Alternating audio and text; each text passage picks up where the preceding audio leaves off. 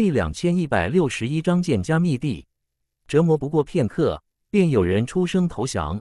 而这第一个出声投降之人，没有想到，正是那先前显露出最硬气的剑壁。哦，听到那投降之声，史峰咧嘴一个冷笑，发出了一声轻落，跟着心念一动，停下了对他们的折磨。一个个剑家人终于停下了痛吼，痛苦的面色也恢复了许多，趴在那片虚空。大口大口喘着粗气，石峰的目光已经凝视了那剑壁的身上，而这一刻，其他剑家青年的目光也都凝视在了剑壁身上。原本还以为有人会出声喝止剑壁，说他贪生怕死，却是没有想到，这一刻竟然出奇的极静，没人再吭声。看来他们都已在石峰刚才的折磨下而被震慑住了。万一是咬之痛，没有人再想去遭受。而若有人再在这个时候出声喝止的话，估计将要再次遭受那个狠人的折磨。哎，一阵阵叹息从剑家人的嘴中发出。他们不怕死，但他们不想生不如死。而此时此刻，每个剑家青年都有种很奇怪的感觉，仿佛这一刻的自己已经完全被那个人给看透了。自己浮现自杀的念头，灵魂深处随即溢出无比冰冷的神秘之力。冲击自己脑海，仿佛脑子要被那股神秘之力给冻结了一般。这一刻，他们明白了，在那个妖孽的掌控之下，他们就是死都无法死去。而这时，望着剑壁的石峰再而开口说道：“带路吧，带本少去那个地方。”剑壁没有回答石峰，而是目光扫视着与自己同行的剑家人，然后对他们开口：“我们走吧。”遭受过那等折磨的剑壁知道。他们虽然没有开口求饶，但其实想法跟自己一样，只不过他窝囊了一点，喊出来了而已。果不其然，一个个听到剑壁的话后，微微点头。然后二十三位剑家青年带着石峰往北而去，其中还跟着剑童。你问问剑谷那老东西，动用了剑家那件东西，如今死了没有？这时剑童开口对石峰说：“怎么？”你想对剑家下手？这时石峰传音问道：“如果可以的话，我自然要这些人全部去死。”剑童冷笑着说，跟着他又问石峰道：“若是我杀剑家人，你会如何？”我石峰没有想到他竟然会有如此疑问，跟着他回道：“我不会与你为敌的。我想我们之间不会再成为敌人。”呵呵，剑童笑着说：“我就知道。”你其实已经爱上了我，我们之间其实早就已经彼此相爱了，对吗，亲爱的？你想多了。石峰道，跟着他对剑童提醒道：“当心了，剑家可不止一个剑骨，就算剑骨已经陨落，还有个接近真神三重天的剑域。”石峰知道，以他如今之力对付剑家，那是何其之难。据剑染说，剑骨一般情况下是不在剑家的，而这么多年来。就算剑骨没在剑家，剑童也一直未能对剑家怎么样。嗯哼，我当然知道，对于这个剑家，我比你更加了解。剑童道，不过终有一日，我迟早会让他们付出千百倍的代价。当说到这时，剑童的情绪又是忽地一变，先前的那股轻浮消失，变得无比认真起来。再而对石峰说道：“你等着吧，一定会的，那一日不会太远。”剑野与剑壁一行人带着石峰，不过于虚空飞了一个时辰而已。此时此刻，他们来到了一片丛林之上，下方是无边无际的树林，而且是一片看上去很平凡的妖兽树林。树林之中虽然有几只大妖，但也根本不足为患。这里的大妖在石峰的灵魂感应中，最强者也不过在八星半神而已，乃是被石峰瞬间秒杀的存在。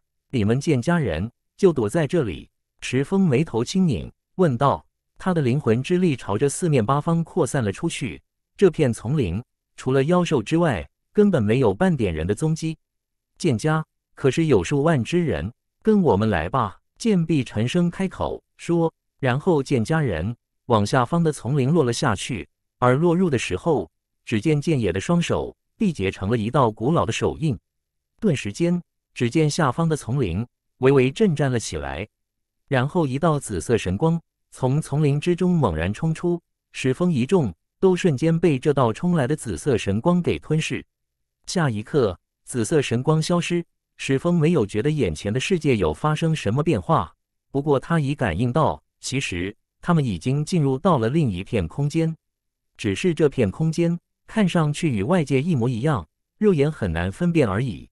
紧接着，石峰的灵魂感应内，下方的丛林之中出现了一道道身影，这些人正是剑家人。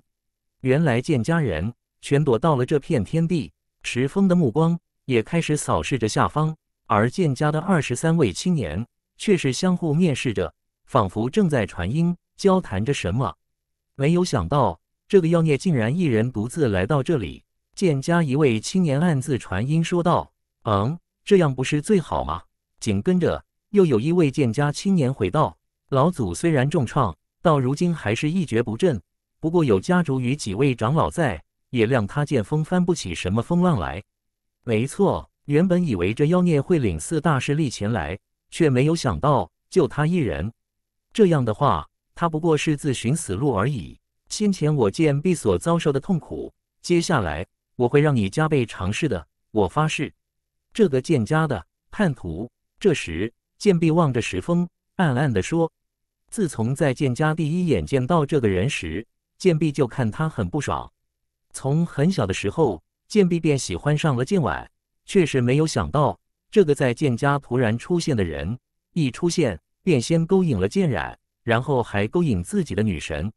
这些时日，剑婉虽然随二爷剑影投靠了凌霄圣地，但是剑壁还是一直对他念念不忘，一直思念着他。特别是夜深人静的时候，二少爷他们回来了。嗯，是剑野他们。池风与剑家一众的到来。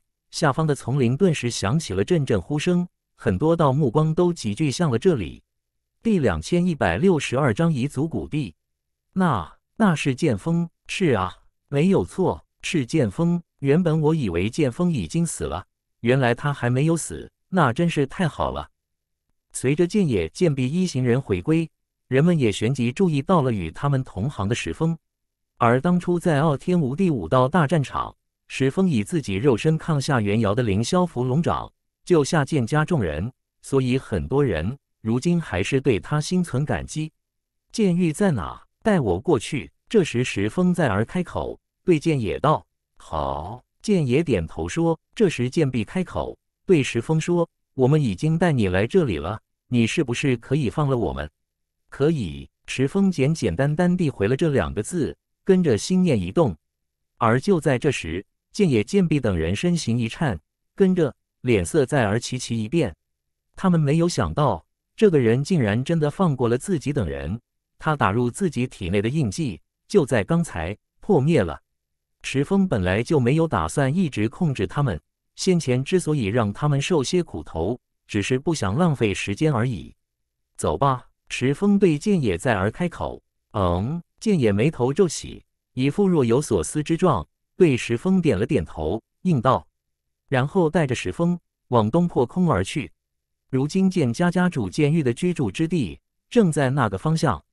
剑壁等人身形还悬浮于树林上空，望着石峰与剑野破空离去，越去越远，身形即将消失于天际之时，剑壁低头旋即冲着下方的剑家众人们喊道：“大家注意了，这剑锋已经背叛了我们剑家，他。”已经投靠了那四大势力，剑壁的喝声顿时在这片天地间回响起。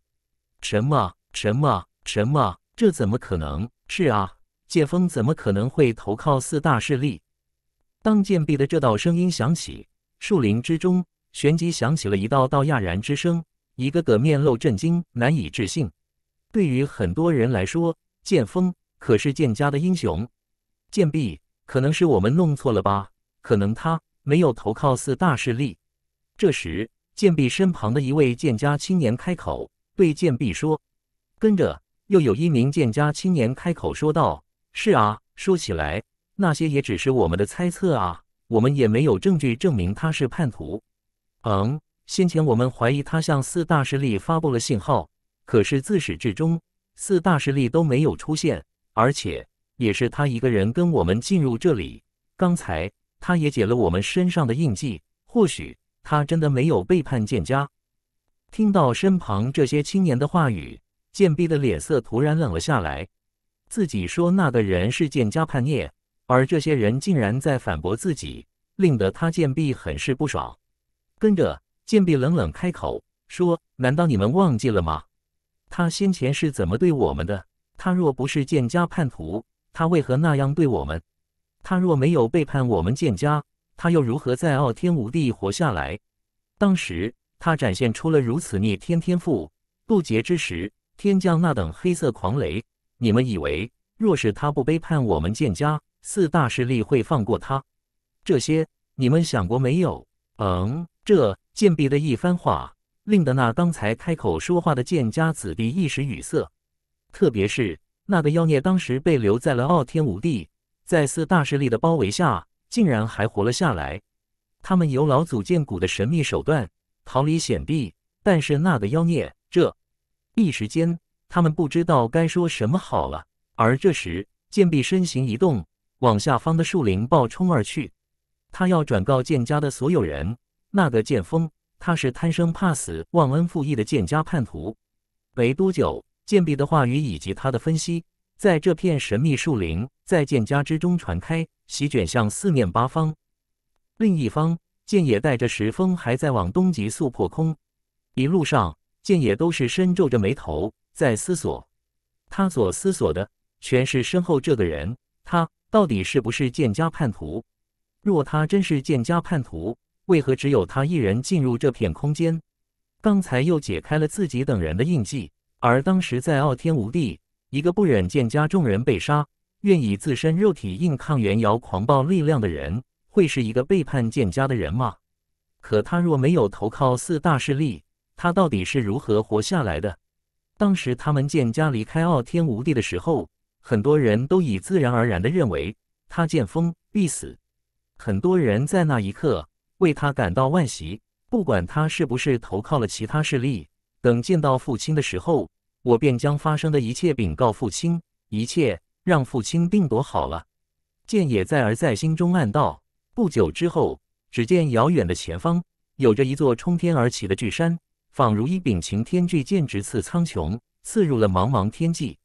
而就在石峰见到那座巨山的那一刻，一直跟随于他身旁的剑童旋即出声道：“天剑神山，我知道了，这片空间乃是剑家彝族古地。”听到剑童的呼声，石峰面露好奇之容，问他道：“彝族古地有什么名堂吗？”传说这里在远古之时，乃是剑家第一位先祖居住之地。后来不知发生了什么变故，有一日，剑家上下举家搬迁，之后便建立了剑城。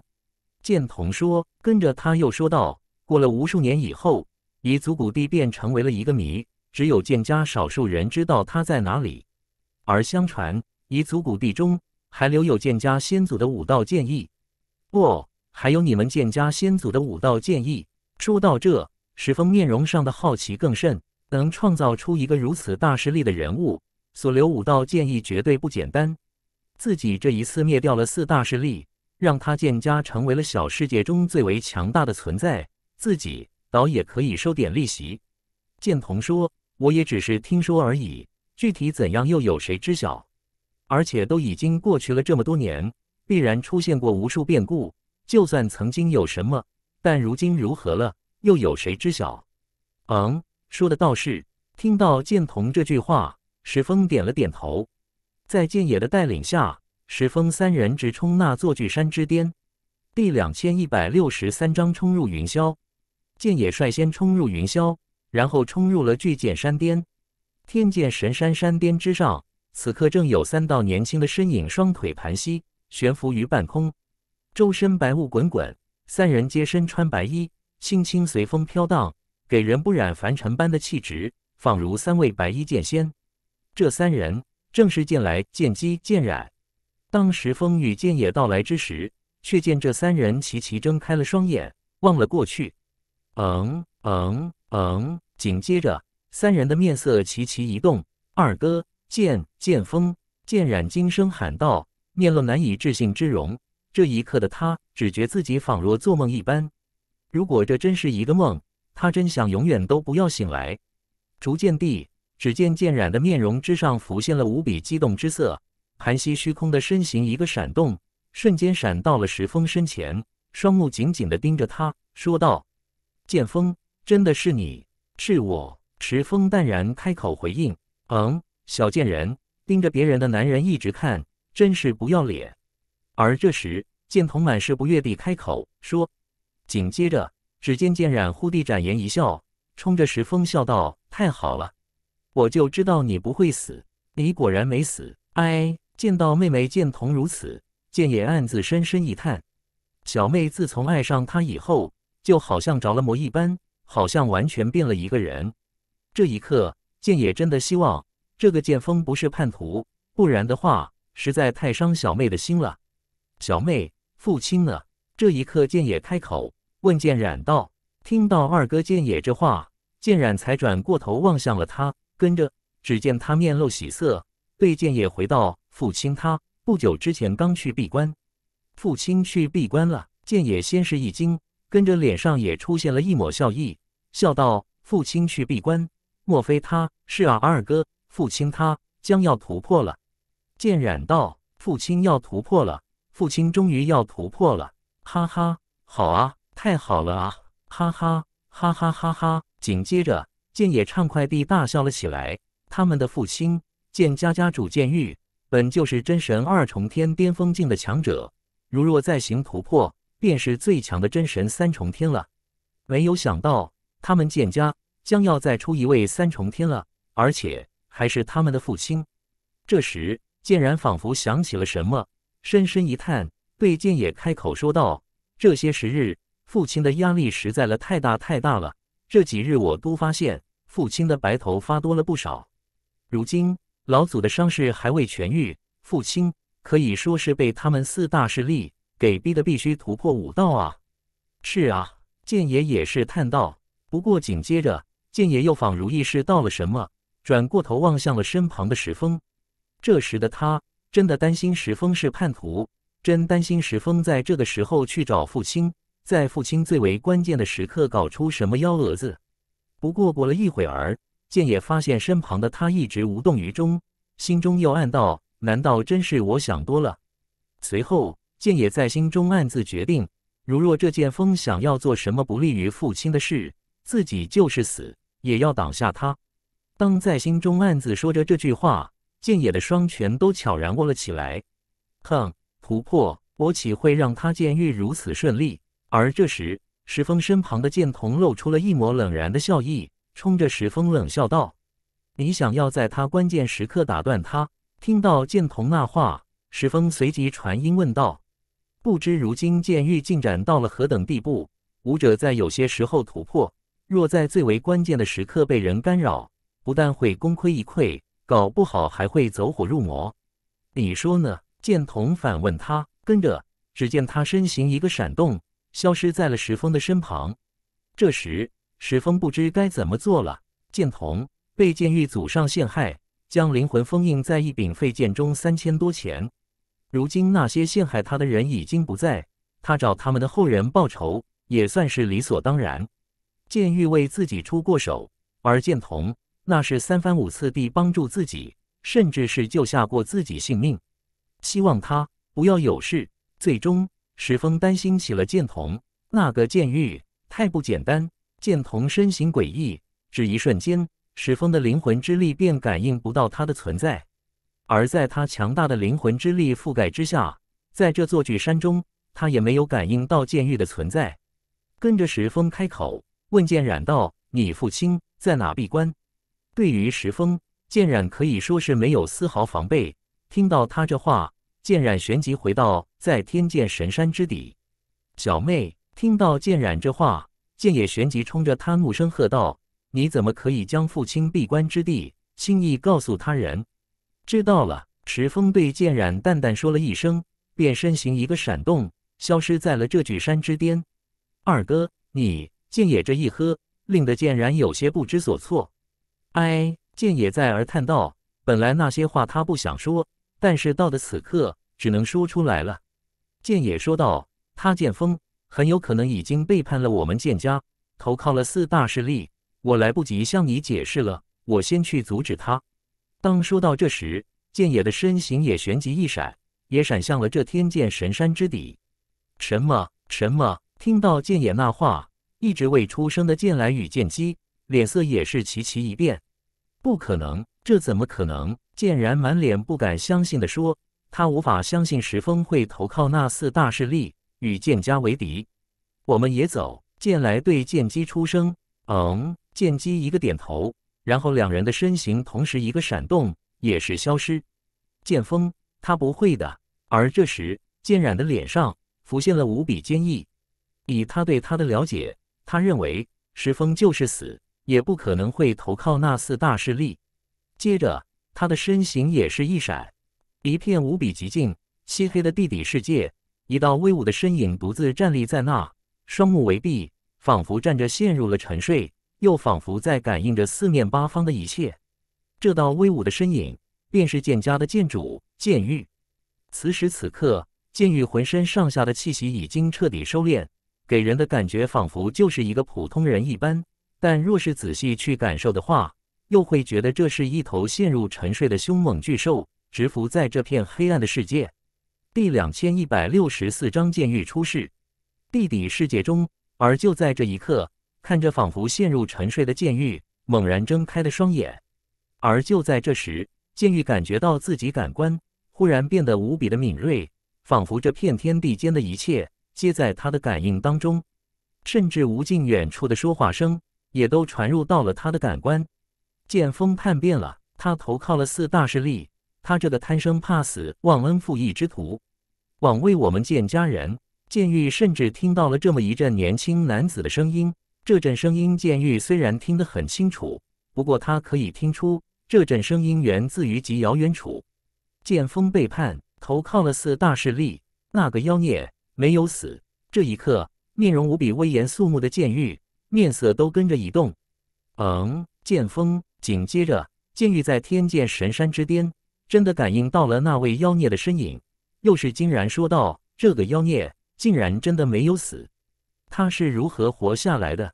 随后，他又感应到了石峰、剑野、剑染间的谈话，然后石峰身形一动，正往这天剑神山之底飞冲而来。这一刻，剑玉的眉头猛然皱起，道：“他这是来扰我突破？他真的叛变了，成了忘恩负义的白眼狼。”当说着这句话的时候，只见剑玉的嘴脸勾起，露出了一抹冷笑，又道：“如果他想要阻我突破，那我是要令他失望了。”嗯，何方孽障？炸！而就在这时，剑玉忽然又感应到了什么，发出了一阵暴喝，声浪滚滚，仿如一柄巨剑一般，从剑玉的嘴中爆冲而出，冲向了前方。剑玉身前的空间都在他的这道喝声下而剧烈沸腾起来。啊！只听一道痛苦尖锐的娇呼声响起，一道红色身影于沸腾的空间中显现，不断的往后狂猛倒飞，砰地一声。红色娇躯重重地撞击在了岩壁之上，啊！剑童又一阵痛呼，然后娇躯顺着岩壁缓缓滑落在地，坐靠在了地面之上。妖女，你是什么东西？剑玉面目满是冰冷，冲着剑童冷声一喝，一股绝强的杀意冲出，狂猛冲击向了剑童。啊！在杀意的冲击之下，剑童娇躯一个震颤，又发出了一道娇呼。不过剑童的脸面之上。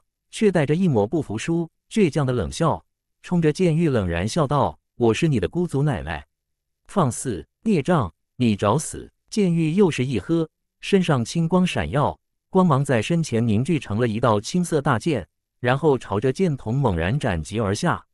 这一剑带着绝世剑之力量，可斩妖神，可斩灭世间一切邪物。看来剑玉已没兴趣知道剑童是什么。也不想知道他为什么会出现在这里，只想用这一剑将之了结。还好赶得及时，而就在这一刻，一道年轻的黑色身影在剑童身前显现，为他挡住了那斩下的一剑。然后那只缭绕着暗黑狂雷的一拳，朝着那道斩下的青光大剑猛然爆轰而去。轰！一阵绝世爆破声轰响，这片黑暗的地底世界以及整座天剑神山。都跟着无比狂烈地震荡起来，轰轰轰轰轰轰！巨山摇晃，仿佛山神发怒一般，身形沿着天剑神山狂猛暴冲的剑家兄妹，此刻脸色在而大变。剑染在而一声惊呼：“不好！难道他真的该死啊？这该死的剑锋！”剑野的脸面上显露出了极度愤怒之容。这震爆破传自于下方，剑野自然而然地认为，必然是那剑锋对父亲出手了。父亲好不容易走到了今日这一步，那剑锋，可恶，实在是太可恶了。想到这些，剑野那张俊逸的面目已经变得无比狰狞，心念父亲剑玉往下暴冲的速度更快了。而剑来、剑姬、剑染也是咬紧牙齿，激发潜力，以此催动更快的速度前往。心中暗暗祈祷，但愿父亲不要有事。剑锋望着忽然出现这片黑暗地底空间，一拳轰灭自己建立的石峰。剑玉冷冷地吐出了这两字。他有些意外，这个妖孽不但没死，竟然变得比曾经更强了。就连自己那一剑都被他一拳破灭。不过仔细想想，当初傲天无地之时，他就那么逆天，最终在那等暗黑神雷下活下来，自然也已经脱胎换骨。不过他虽脱胎换骨，但如今步入更强的剑域，仍然没有怎么将他放在眼中。跟着，剑玉在耳冷然开口，对石峰说道：“据说你已背叛了我剑家。”先前那一瞬间，剑玉刚刚步入了真神三重天，灵感无比敏锐。此时此刻，那敏锐的灵感虽在消散，虽然他已无法再听到那遥远处的声音，但是先前那道年轻的声音已被他记下。剑锋叛变了，他投靠了四大势力。他这个贪生怕死、忘恩负义之徒，我自始至终都不是你剑家的人，何来背叛你剑家一说？石峰对剑玉回道：“当初不过是约定，自己为他剑家出战，他们剑家给自己六件神器而已。”说得好！剑玉在而冷冷地吐出了这三个字。此时此刻的他，成为了这个世界的最强者之一，整个人的气势。给他人的感觉都与往日完全不同了。跟着，剑玉在耳冷然开口说：“你既然护着你身后的妖女，看来这妖女是你带进来的了，而且也是你指使她想要扰我突破。她之所以在这，算是跟我进来这里。”石峰道。跟着他又说道：“不过倒不是我指使她，对于你突破或者不突破境界，我完全没有那个兴趣。哦，是吗？”剑玉说着这几个字，再而一阵冷笑，而接着石峰说道：“我之所以来这里，就是想完成我们之间的承诺。我为你们参加了那场武道之战，而你也该给我那些东西了。”不，剑玉一声轻落，跟着说：“由于那四大势力发动的变故，那场武道大战最终一场未能如期举行。但你为我们剑家一路征战，那两场基本都是靠你才能赢得胜利。”答应你的那六件真神战器，按理说理应给你。既然觉得应该给我，那给我就是，何须说这些废话？听得剑玉的话以及他那说话的语气，石峰有些不耐烦。这个剑玉确实变得有些不太一样了。第两千一百六十五章，这个人疯了。这时，只见剑玉对石峰摇了摇头，说：“我现在暂时拿不出六件真神器。”那什么时候能拿出来？石峰问他。剑玉道：“一众天神器，我剑家上下本来就只有九件，而剑染的那口神剑应该还在你手。前段时日我剑家千人背叛，不用我多说，想必你也已经知道。其中有四口一众天神剑，在那些叛徒手中；有一口神剑，随着那剑一在傲天无地失踪而失踪，还剩下三口神剑，分别在我女剑姬。”我剑家二长老剑元、五长老剑仇手上，听到剑玉这番话，石峰却道：“我不管你们的神器在谁手上，反正给我六件真神战器就行。若拿不出一众天神器，便以二重天以一代三来凑；若是没有二重天，用三重天代替也行。用三重天代替，呵呵呵呵呵呵。”当说着这句话的时候，剑玉发出了赫然冷笑。仿佛听到天底下最好笑的笑话一般，跟着他又笑道：“石峰，你还真敢说啊！真神三重天神器，乃小世界中最强的巅峰神器，根本无法用一众天神器的数量来衡量。这是一件无量神兵，欠他六件真神一众天战器，而他却说以三重天神器来还，估计任何人听到都会震惊吧。而剑玉觉得那话实在是太荒唐了。见到剑玉因为听到自己的话后，脸上流露出了冷笑，石峰的脸上也逐渐地冷了下来，气氛一下子变得有些压抑与沉闷。父亲，父亲，父亲！而就在这一刻，一道道喊声响起，剑家兄妹正好在这时赶来。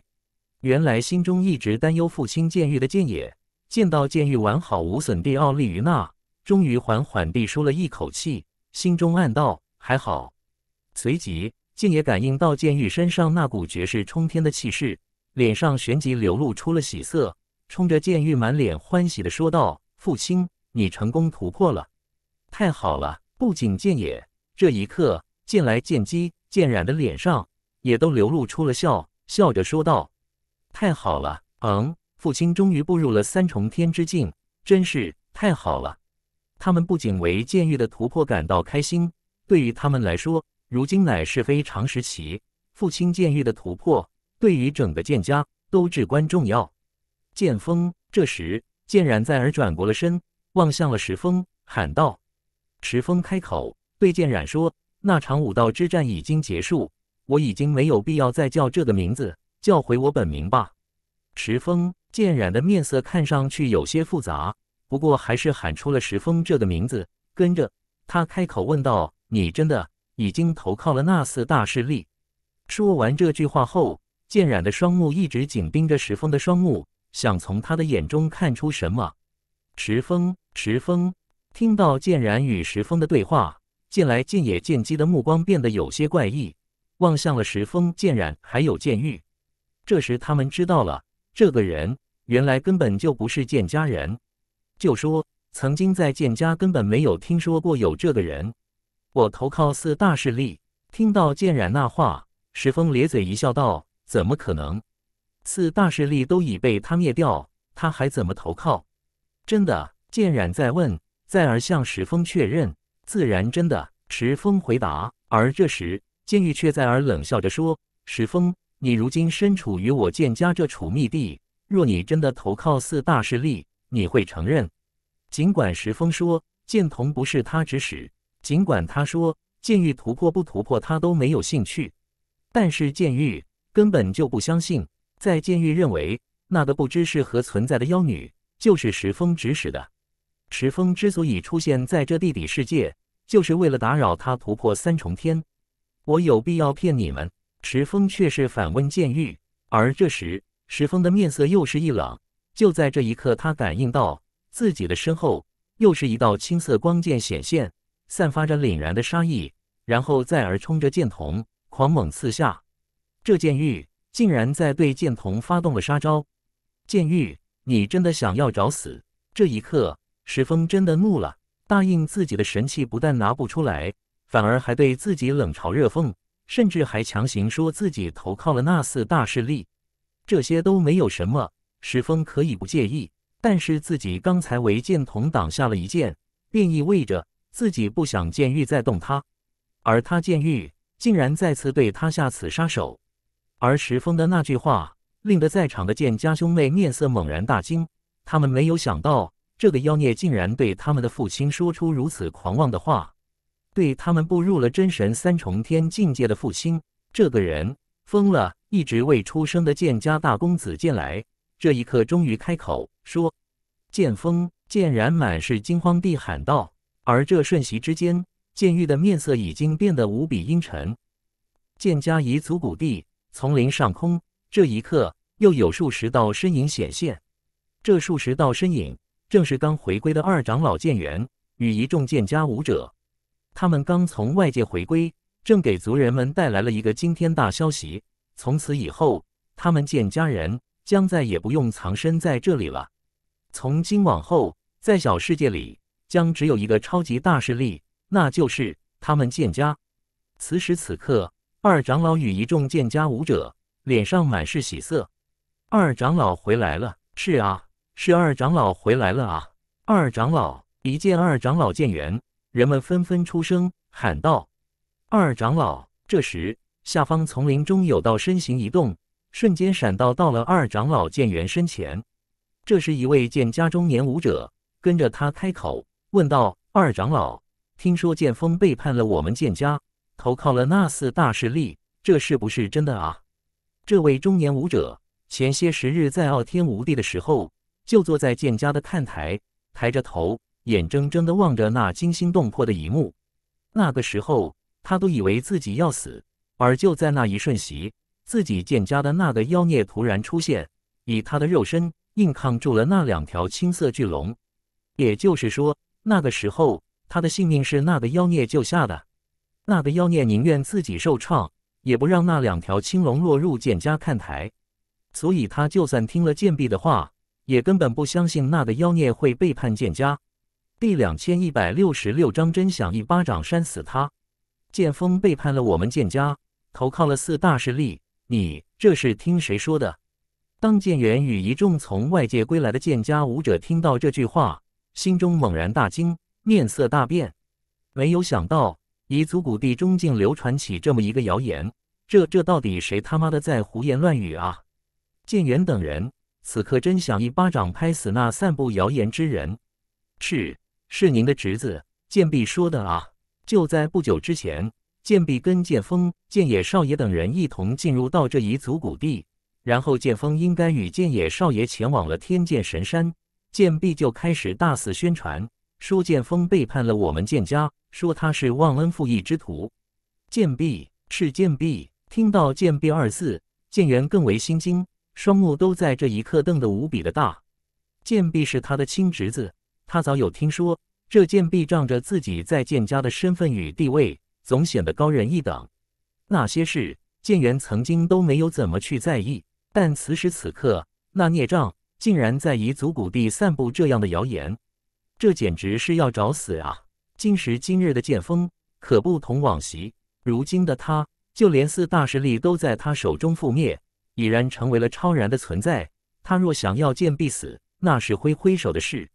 别说是剑毙了，就是自己也不例外啊！叔父，您回来了，叔父。而就在这时，剑元听到了一阵呼喊，在遥远处的虚空响起。他随即转过头望了过去，与那片虚空处显现的身影。正是他的侄子剑壁。此时此刻，剑壁身形狂猛而动，正在朝着这方急速接近。业障啊！一见到那道身影，剑元便满是愤慨地开口说道。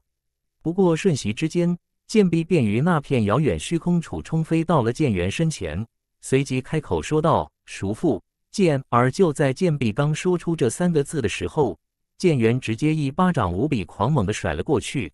狠狠甩在了剑壁的脸面之上，啪地一阵爆响，剑元直接将剑壁整个人都给扇飞了出去。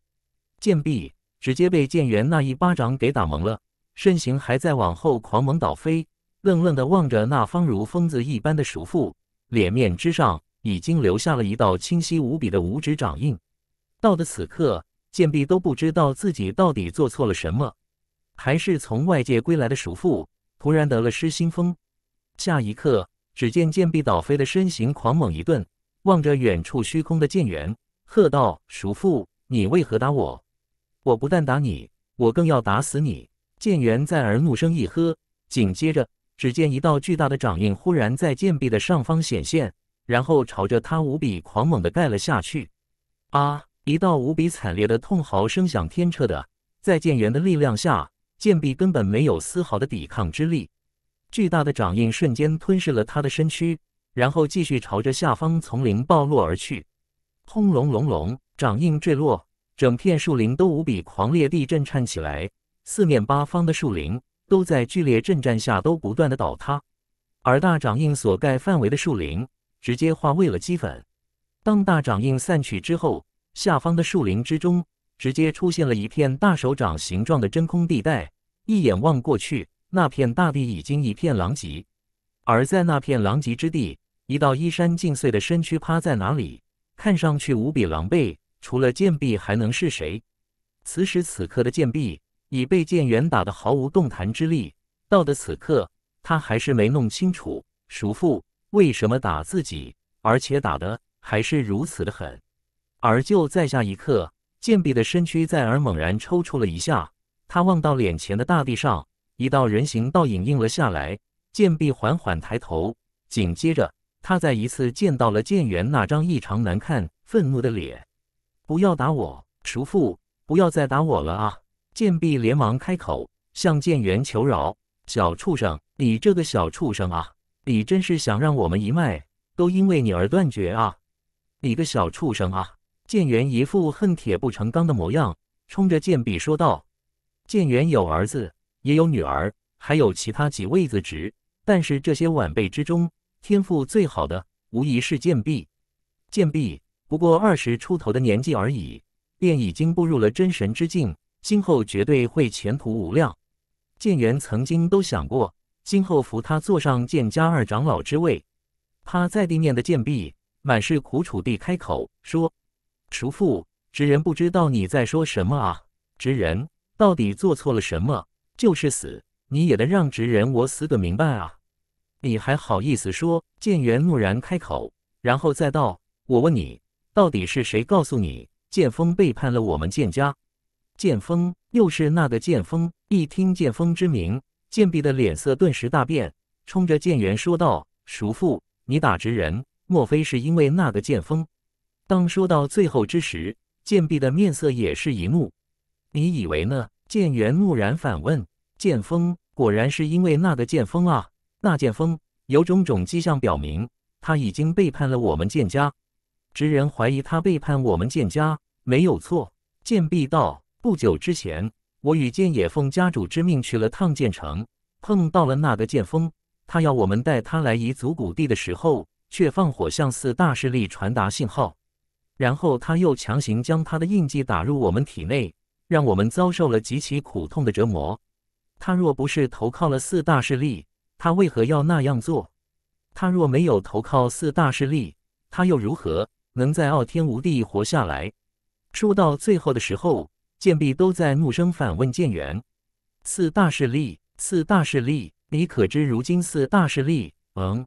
当剑元说着这番话的时候，面色忽然狂猛一变。话音戛然而止，望向了东方。这这家主在哪里？剑元感应到了一股冲天剑势，无比的强大，仿如要刺破苍天。家主突破了。这一刻，不仅剑元望向了东方，以足谷地中的一个个人也全都望向了东方，面容之上有大惊，有大骇，也有大喜。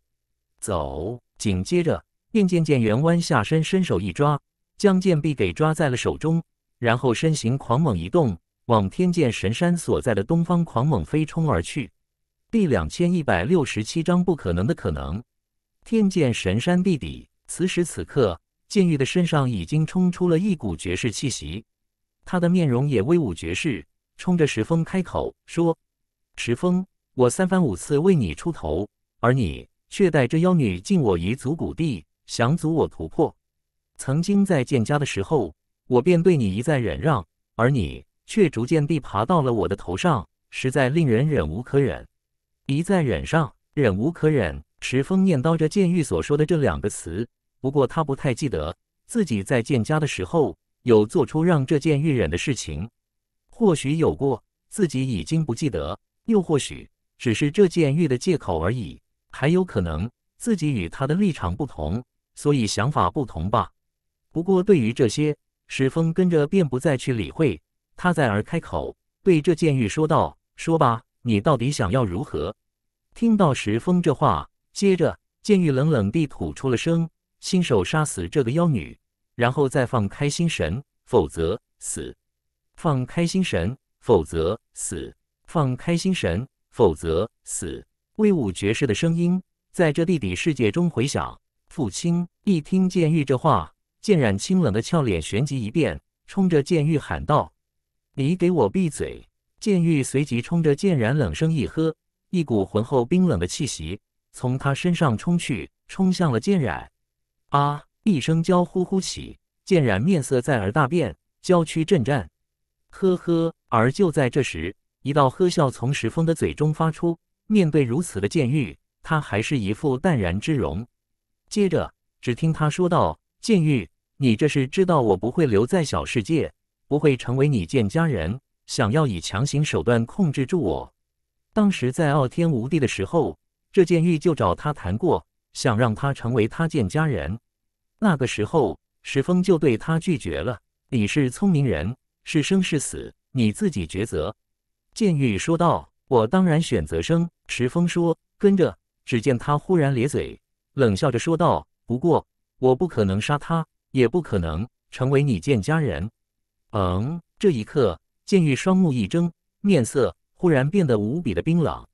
紧接着，便见剑玉右手凝结剑指，一指斜指而上，顿时间，只见一柄青色古剑在石峰的上方显现，剑身之上刻满了密密麻麻的远古符文，散发着古老绝世的神威。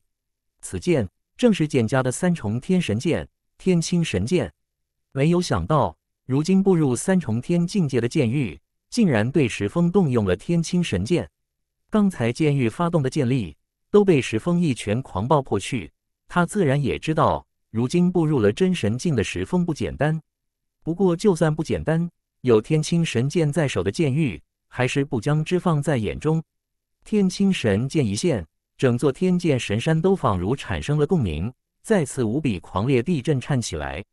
杀！一阵冷喝从剑玉的嘴中喝出，只见那悬浮石峰上方的天青神剑狂猛移动，对着石峰狂猛刺下。啊！不！旋即间，剑染发出了一阵惊声大吼，拼尽全力，声音撕心裂肺。他想冲过去，可是发现自己的身体根本无法冲破那股冰冷的气息。身为父亲的剑玉早就料到这个女儿会做傻事，一切都仿如在他的掌控之中。不，不要！而紧接着，这片黑暗的地底世界又响起了一阵惊然大吼。这是一道中年男子的吼声，正是那位赶过来的二长老剑元。剑染、剑元脸色狂变，而有三人此刻的脸面上露出了一抹冷笑。一人乃是被剑元抓在手中的剑臂。他想看到那个剑下之人，自己天青神剑下毁灭，都是他叔父剑元对自己进行了暴打，他就应该去死。还有一人，乃是坐在石峰身后的剑童剑玉，这是找死。最后一人便是石峰，他的脸上还挂着那抹戏谑般的冷笑。天青神剑还在狂猛下刺，石峰还是一副不慌不急的模样，缓缓开口说：“剑玉。”本少刚才就说你找死，你还真是。说着这番话的时候，石峰心念一动，紧接着，只见他的周身顿时浮现了密密麻麻的物件，每一件物件皆散发出绝世神威，一共五十八件。这是石峰的五十八件真神战器。五十八件神器一出，顿时之间，身处这片地底世界的众人脸色狂猛，惊然大变，震惊的无以复加。这可是。五十八件神器啊！怎么可能？这怎么可能啊！就连剑玉都惊得直接喊出了声。他从这五十八件器物当中感应到了四件拥有天青神剑相同气息的神器：凌霄圣地、凌霄神塔、太虚圣地、太虚图、曹家斩天魔刀、赢家应天神剑。怎么可能？怎么可能？这四件神器为何会落入这个妖孽的手中？呵呵。没有什么不可能的。听到剑玉的惊呼声，石峰依旧淡然笑着说道。而就在这时，五十八件真神战器已经朝着刺下的天青神剑迎了上去。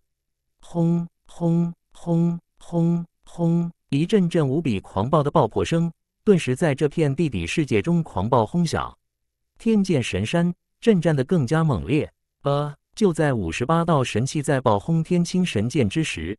一道痛苦的呻吟之声从剑玉的嘴中发出，剑玉身躯一震，鲜红的血液从他嘴中溢出。看来在如此狂猛的轰击之下，他已经遭受到了反噬。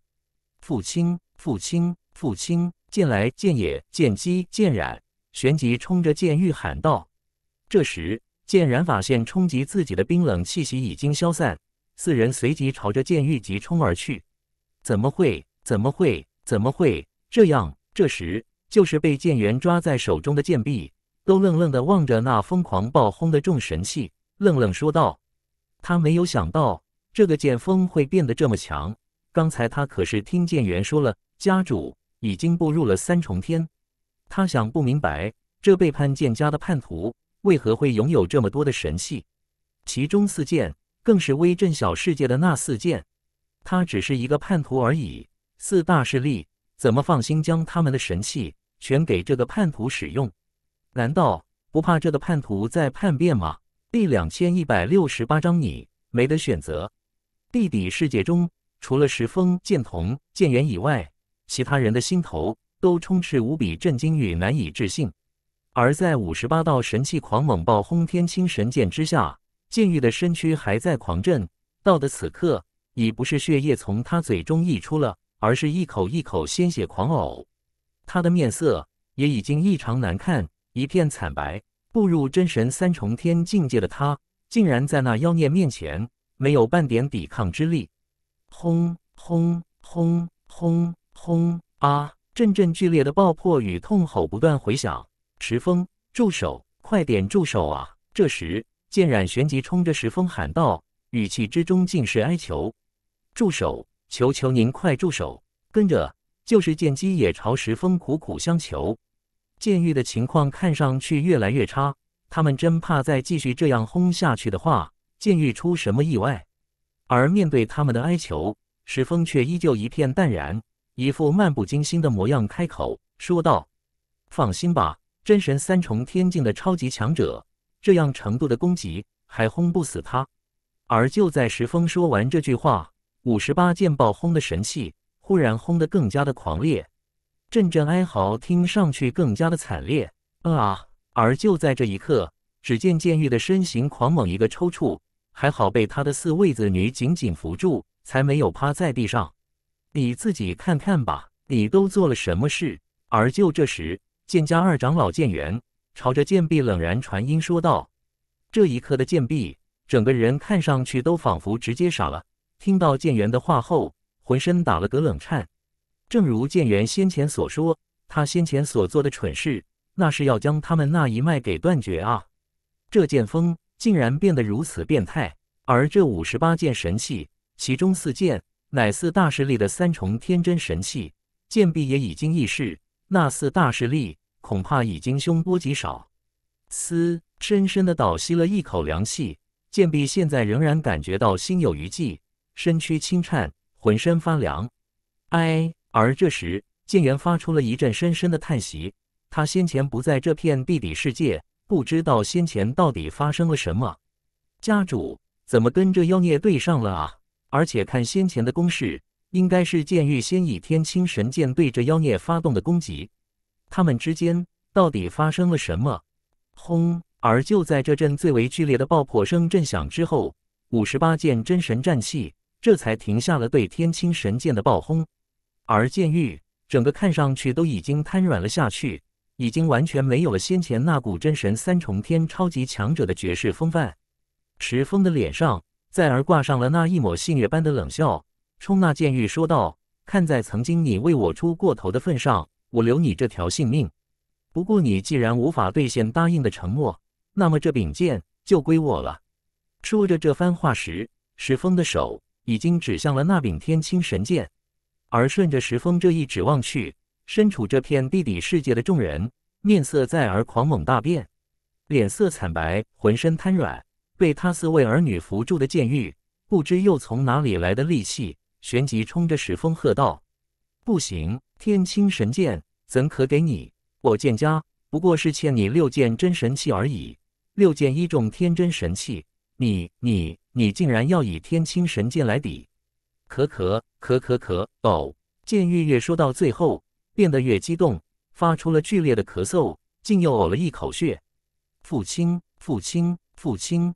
剑然等人在而满是担心地喊道：“天青神剑乃是剑家从远古时期便世代相传的最强神器，乃是剑家家主身份的象征。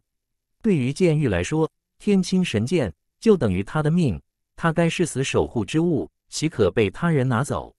而这时，却听得石峰在而开口，对剑玉说道：“你没得选择。”这一刻的他，声音也逐渐地冷了下来，强硬而不容拒绝。剑玉先前对他发动的那一剑，他感受到了无比凌厉的杀意。要是曾经的自己，或许已经死在了他那一剑之下。要不是先前剑玉为他出过头，要不是他见家老祖剑骨为他抵抗过元瑶，今日他必杀剑玉。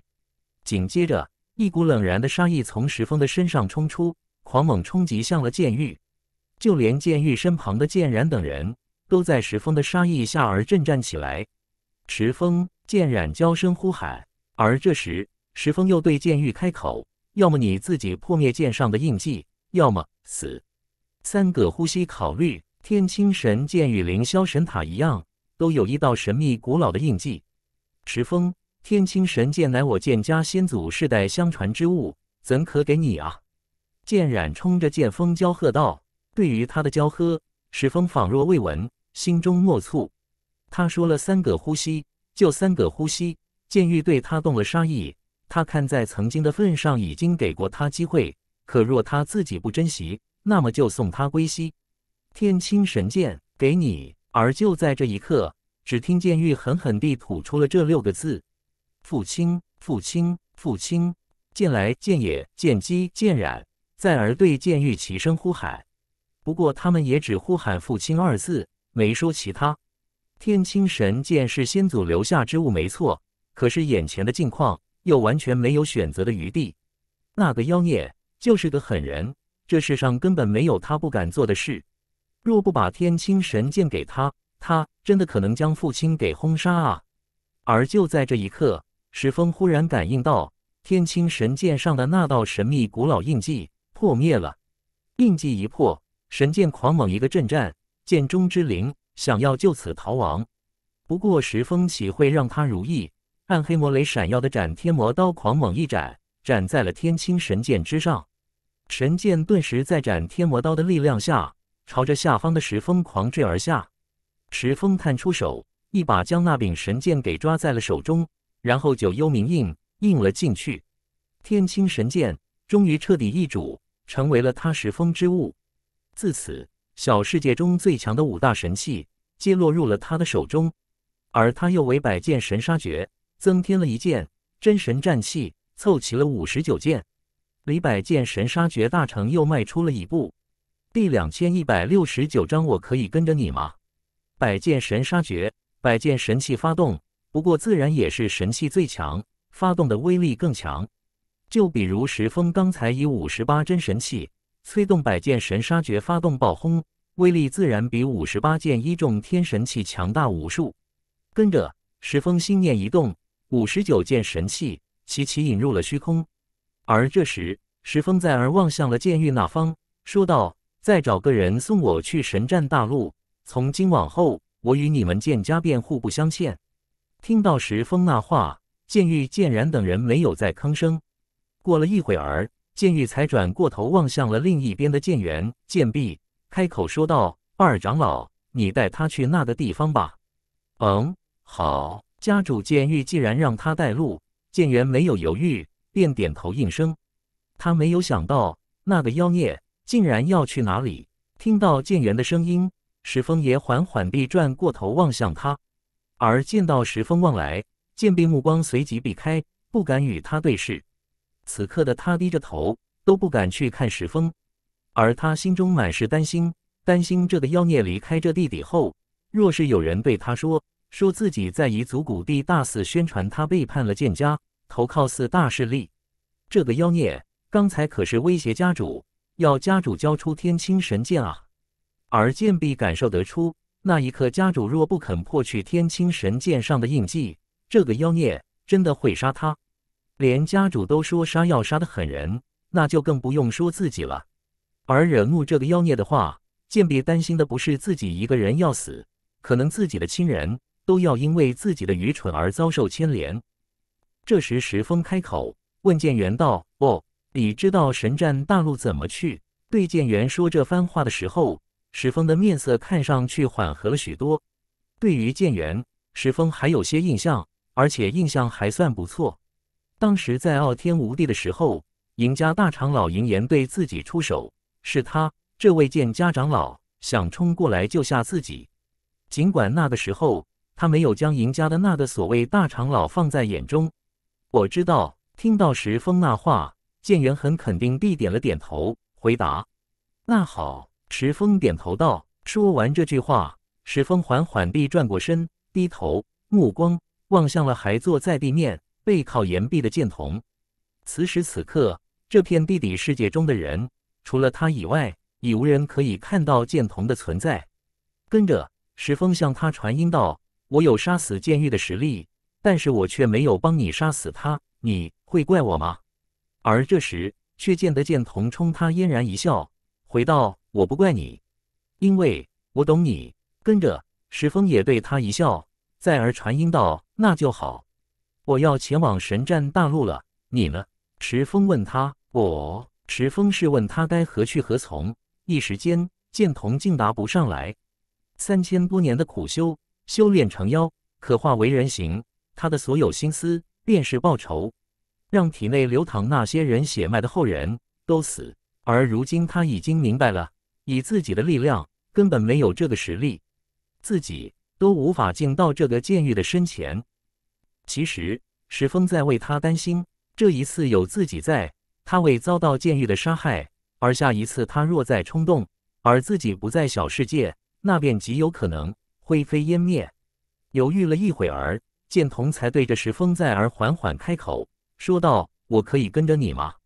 我想变得更强。”他已经明白，要想报仇。只有自己变得更强才可以，不然的话就跟这次一样，不过送死而已。当然可以。石峰笑着回道：“其实这也是他所想的，他不想这个女人再留在这里。”嗯，剑童重重点头，再而对着石峰一笑。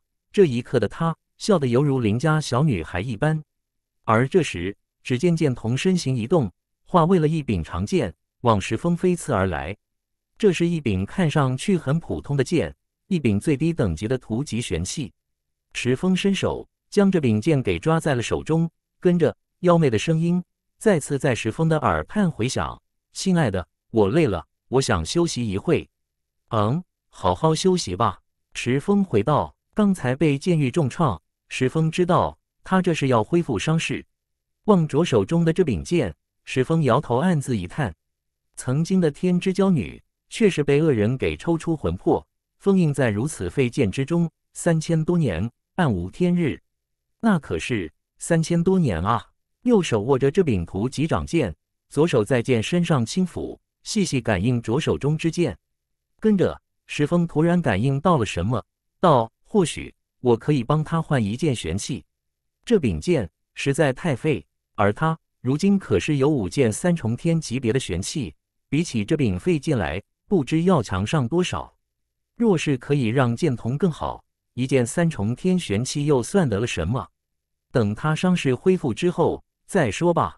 石峰暗自说道。这时，他在而望向剑家二长老剑元，开口说：“走吧，带我去那个地方。”嗯，剑元道。石峰。而就在这时，一道娇呼忽然从石峰的身后响起。听到那道娇呼，石峰缓缓地转过身去。喊他之人，自然是剑家的那位二小姐剑染。此时此刻，剑染望着石峰的面色满是复杂，不知道该对他说什么。自己心中有他，而他刚才却重创了自己的父亲。剑染对他的心意，石峰自然早就知晓。望着剑染，见他一副欲言又止的模样，石峰冲他咧嘴一笑，说道：“我要走了，后会有期。”剑锋，我我。我还是送送你吧。最终，剑染终于鼓起了勇气，对他说出了这句话。剑染知道他去意已决，而这一别之后，若是再相见，不知何年何月，或许今生今世再也无法见到他了。剑染想送他最后一程。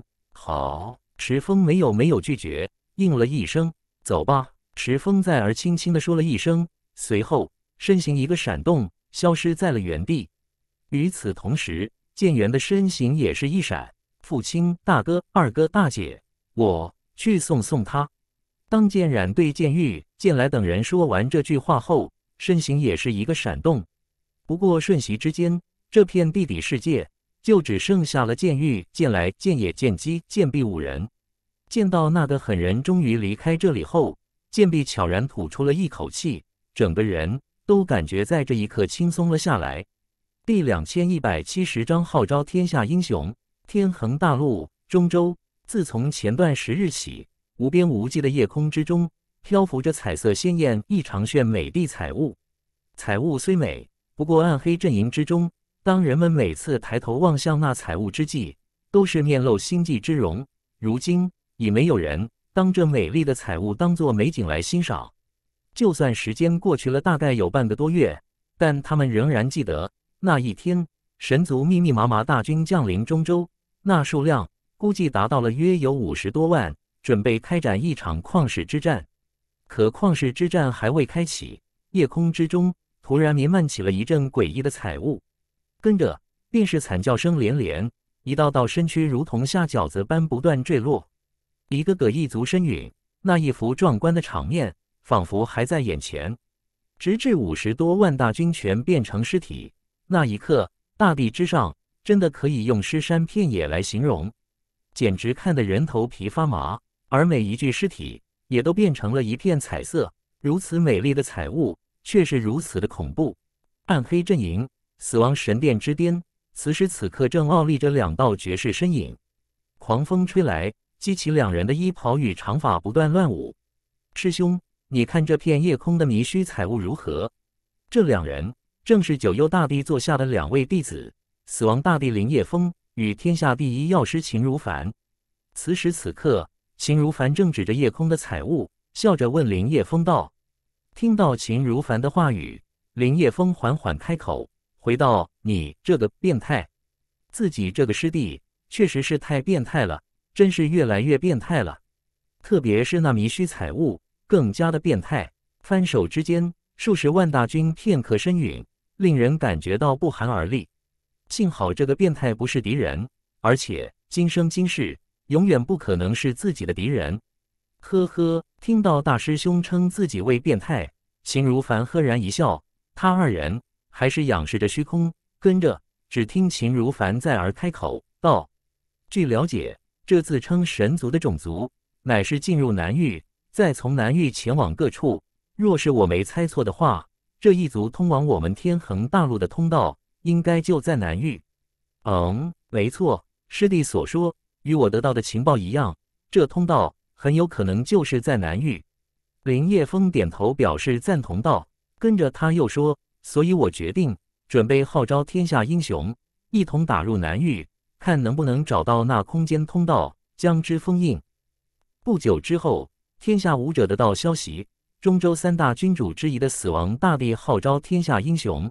一同进攻南域，讨伐异族，是将异族赶出中恒大陆。一时间，天下武者纷纷响应。莽荒大陆小世界，在剑家二长老剑元的带领下，石峰进入了一片叫做迷雾森林的丛林中。据剑元所说，这迷雾森林常年浓雾笼罩，永不消散。据说这迷雾森林深处居住着异常恐怖的存在，但到底是什么，却无人知晓。据说一入迷雾森林深处，便会永远迷失方向，永生永世都无法出来。不过剑元并不是带石峰深入这迷雾森林，前往神战大陆的通道是在这迷雾森林中，不过却不用深入迷雾森林。嘴中暗暗呢喃着这四个字，石峰的灵魂之力瞬间覆盖了这片迷雾森林的大片区域，在他灵魂之力的感应中，感应到这片森林除了雾确实很大以外。并没有什么异常。迷雾森林，一个好普通的名字。这种名字，石峰在天恒大陆都听过四五个，而每一个基本都传闻着一旦进入便无法出来的传说。对于这迷雾森林，反正也不用深入，石峰也没怎么在意。他现在最关心的还是那条通往神战大陆的通道。剑元的身形还在与石峰一同于迷雾森林中急速穿梭，而这时。只听他忽然发出深深一叹：“哎，真是可惜啊！你不是剑家的人。原本我以为我们剑家出了你这妖孽，真的可以称霸整个小世界了。现在的小世界不用我，你们也可以称霸了。”石峰却是说道：“如今四大势力被灭，只剩他们剑家，他们还不称霸，谁来称霸？虽然天青神剑被自己所夺，虽然剑家老祖身受重创。”虽然身怀二重天神器的剑泽、剑影、剑山都已叛变，但是剑玉可是已经步入了三重天。那些剑家叛徒，就是连起手来都不是他剑玉一个人的对手。如今知道四大势力覆灭以后，估计剑家已经出动，为统一小世界而做准备了。听到石峰那话，剑元面带笑意，说道：“，也是。”跟着石峰再而开口，问他道：“那个地方还有多久能到？”快了，剑元说：“从这里到哪里？如果我没记错的话，应该只需要半个时辰。”嗯，石峰应声：“你既然知道那条通往神战大陆的通道，莫非你去过神战大陆不成？”并没有，剑元说：“这条通道。”在我们小世界也并不是什么秘密，知道它存在的人不少。而我正于多年前来过一次。哦，原来是这样。池峰说，然后又问：“你们小世界经常有人前往那个神战大陆？以前的武者听说来回神战大陆与小世界比较频繁，不过这些年已经很少有人前往神战大陆了。反正让人知道的很少。”剑元又道：“哦。”池峰面色一动，说：“知道为何吗？”剑元缓缓摇了摇头，说：“不太清楚。对于那个神战大陆，我所知道的很少。我们剑家其实很少去关注它。”嗯，知道了。石峰说：“不过他觉得，曾经既然比较频繁，而如今却少了，应该是有什么原因。事出有因必有妖，半个时辰转瞬即过，而就在这时，剑元对石峰指着前方。说道：“前方就是那个地方了。”石峰顺着他所指望了过去，前方的茫茫白雾之中，一道漆黑如墨的黑山在白雾间若隐若现，而在黑山之下，屹立着两扇同样漆黑如墨的巨大铁门，仿如两位黑铁巨人一般屹立山下。黑铁巨山正紧闭着，却散发着古老神秘的气息。第两千一百七十一章空间隧道。下一瞬间。史峰便与剑元闪到了那黑色铁门之前，身形顿止，缓缓抬头，双目扫视着这两扇大铁门，细细打量着，感应着。只要通过这扇铁门，便可前往神战大陆。路我已经带到，我该回去了。剑元开口对石峰说：“嗯。”石峰点了点头，轻声回应。这一刻的他，注意力都集聚在了前方那两扇黑色大铁门上。都没有去看剑元一眼，告辞。剑元说：“告辞。”石峰再而回应。这时，只见剑元身形一个闪烁，消失在了石峰身旁，往原路赶回。神战大陆。石峰嘴中轻轻低喃着这几个字，紧接着，一股绝世无形之力从他的身上暴冲而出，狂猛冲向那两扇紧闭的黑铁巨门。哐！一阵仿佛巨锤狂暴撞击金属之物的轰鸣声响彻而起，两扇黑铁巨门以及脚下的大地都跟着无比剧烈地颤抖起来。轰轰轰轰轰轰轰！紧接着，阵阵轰鸣声轰响，仿佛金属巨兽发出了阵阵咆哮。两扇黑铁巨门剧烈震颤着，正在缓缓打开。而这时，石峰双脚迈动，已经一步一步。朝着那正在逐渐敞开的黑铁巨门走去。不过就在这时，石峰忽然感应到手中的长剑忽然一个轻颤。刚才长剑沉寂，此时此刻仿如忽然苏醒。这是哪里？接着一道妖媚的声音在石峰的耳畔回荡：“你醒啦！”石峰道：“伤势恢复地如何了？”这里是迷雾森林。迷雾森林，妖媚的声音又响。紧接着。只见那柄图级玄剑在石峰手中猛然一个震颤，石峰右手一松，剑从他手中飞出，跟着瞬间化为了一道红色倩影，化为妖媚的美人剑童，站立于石峰身旁。这时，剑童的双目也凝视于那两扇敞开的铁门上。走吧，通过这里，据说便是神战大陆了。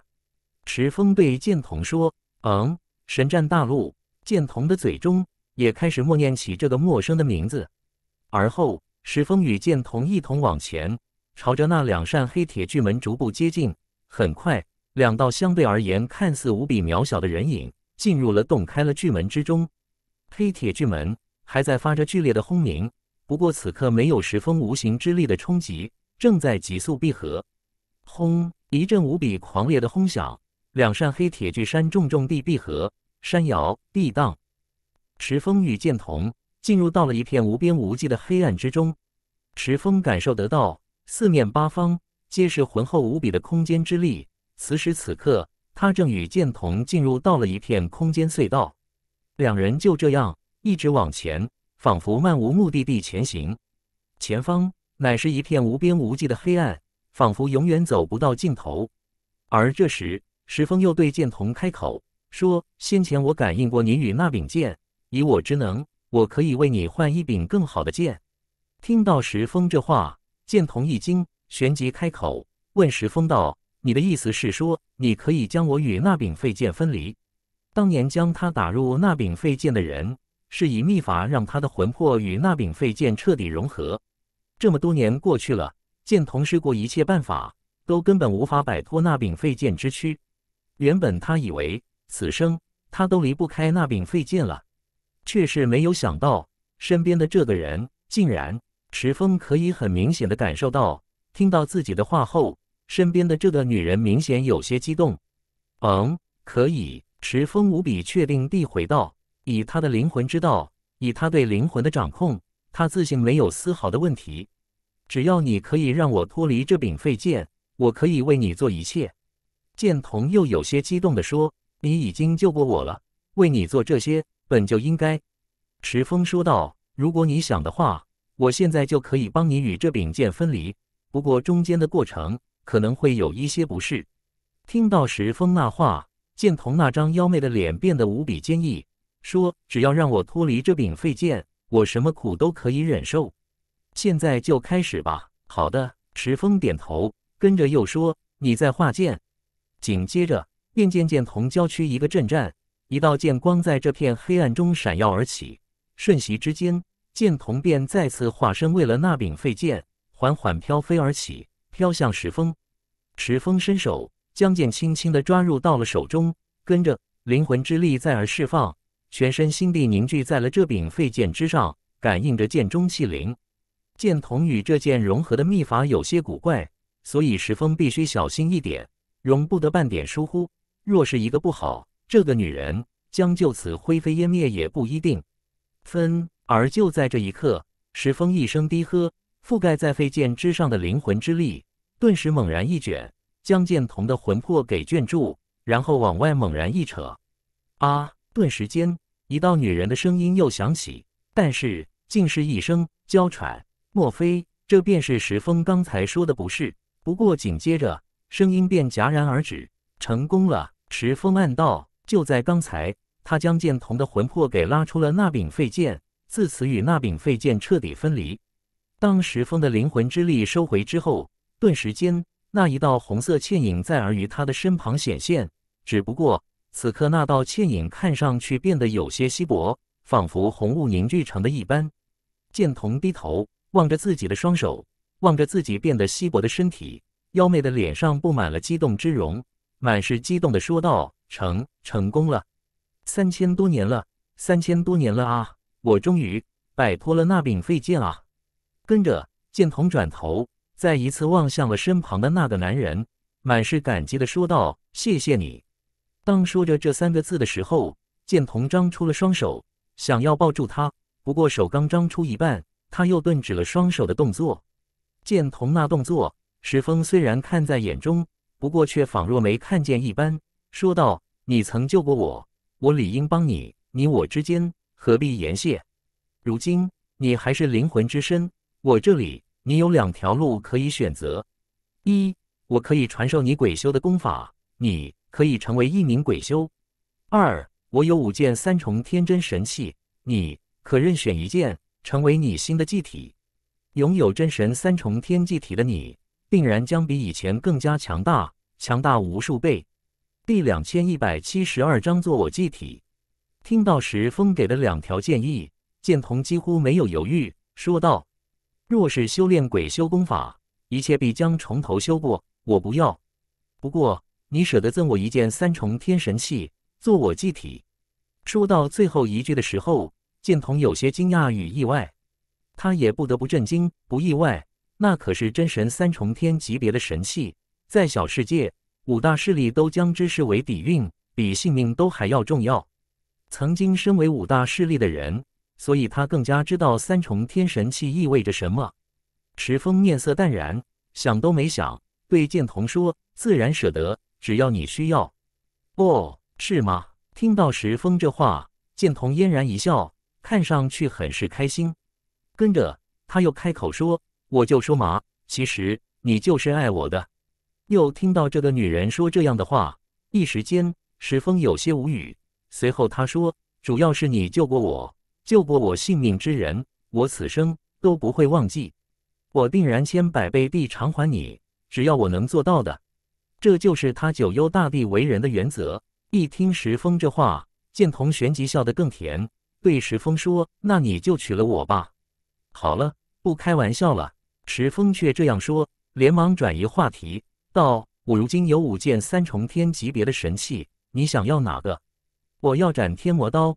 剑童说：“原本石峰以为这女人毕竟出自剑家，曾经的体内流淌着剑家的血，他会选择天青神剑。”就算不是天青神剑，也有可能会选择应天神剑。没有想到他竟选择了斩天魔刀。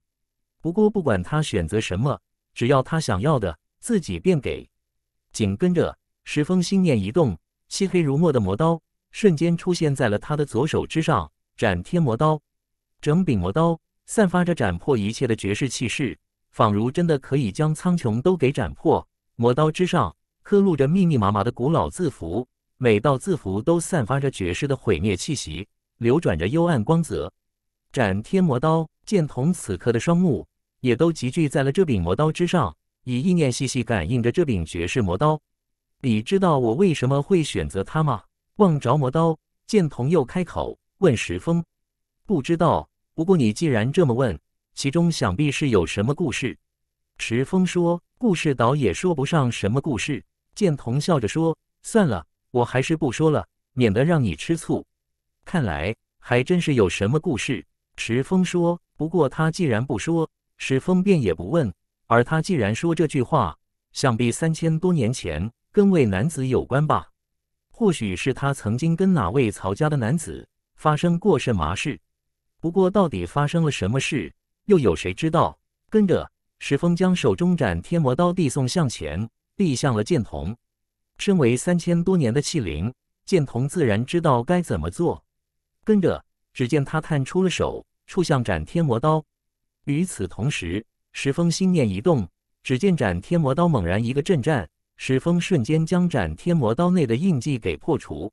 如今这柄刀已归剑童所有，自然不留下自己的印记。而就在他印记破除的那一刻，斩天魔刀瞬间在他的手中狂烈震颤起来，刀中气灵。正在无比剧烈地挣脱，而这时石峰也想起了这气灵的存在，问剑童是否需要我将这刀中气灵灭杀。以石峰如今的手段，要想破灭这气灵，只不过轻而易举。不过接着石峰有些意外，见到他对着自己摇了摇头，说道：“不必，我将之降服便是。”斩天魔刀存在了无尽岁月，而这刀中气灵自诞生到如今，也存在了无尽了岁月。气中之灵的境界也达到了真神三重天之境，散发着无比邪恶的破灭气息，绝对不简单。却没有想到，剑童竟然说将之降服便是。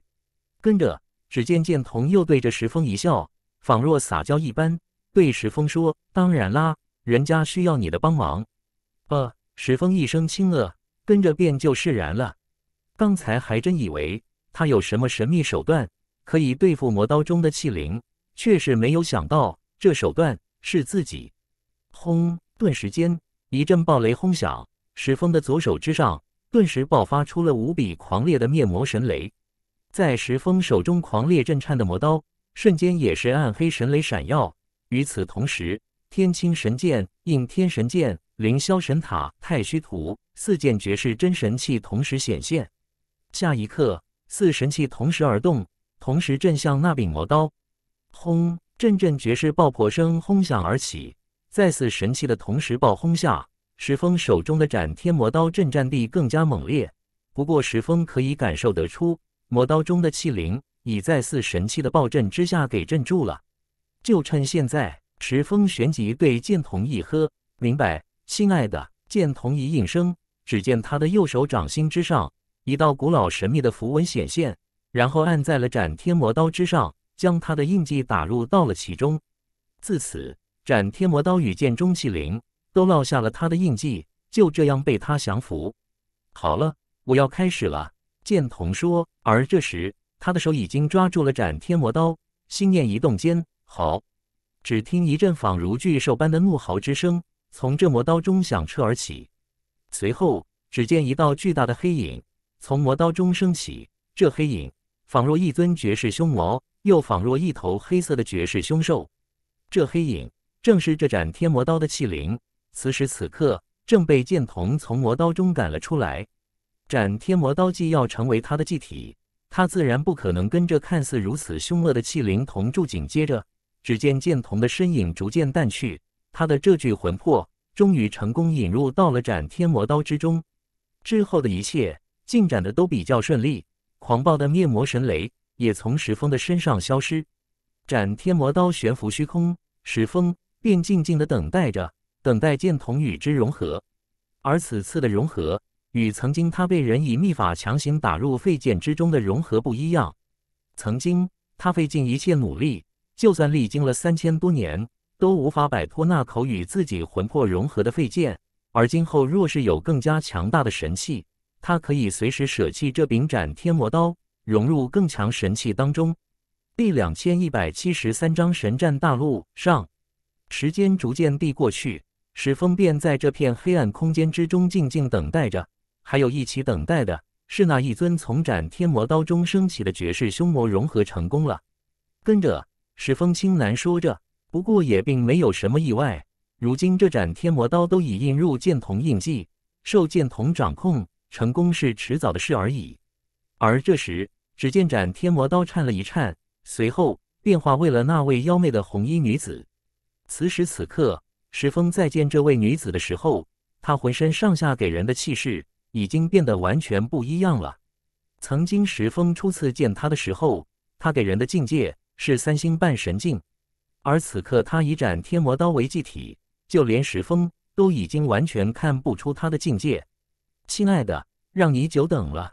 剑童如往常一般对石峰娇笑着，开口说：“感觉怎么样？”石峰问他：“嗯，感觉很好。”当剑童说着这句话的时候，竟然显露出一抹娇羞的模样。这说话的语气，这表情，仿佛刚才石峰对他做了什么一般。就连石峰看着都有些无语，嘻嘻。跟着剑童又是一声娇笑，跟着说道：“亲爱的，把它还给我。”说这番话的时候，剑童指向了那柄还被石峰握在右手的图级废剑。哦，听到剑童这话，石峰一声轻诺，跟着将这柄废剑递还给他。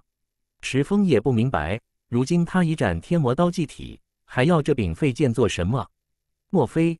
这柄剑毕竟相伴了三千多年，已经有了感情。石峰暗自猜测着，随后剑童便将那柄废剑接入手中，跟着抬头望向了那道无比巨大的黑暗魔影，冷声喝道：“入！”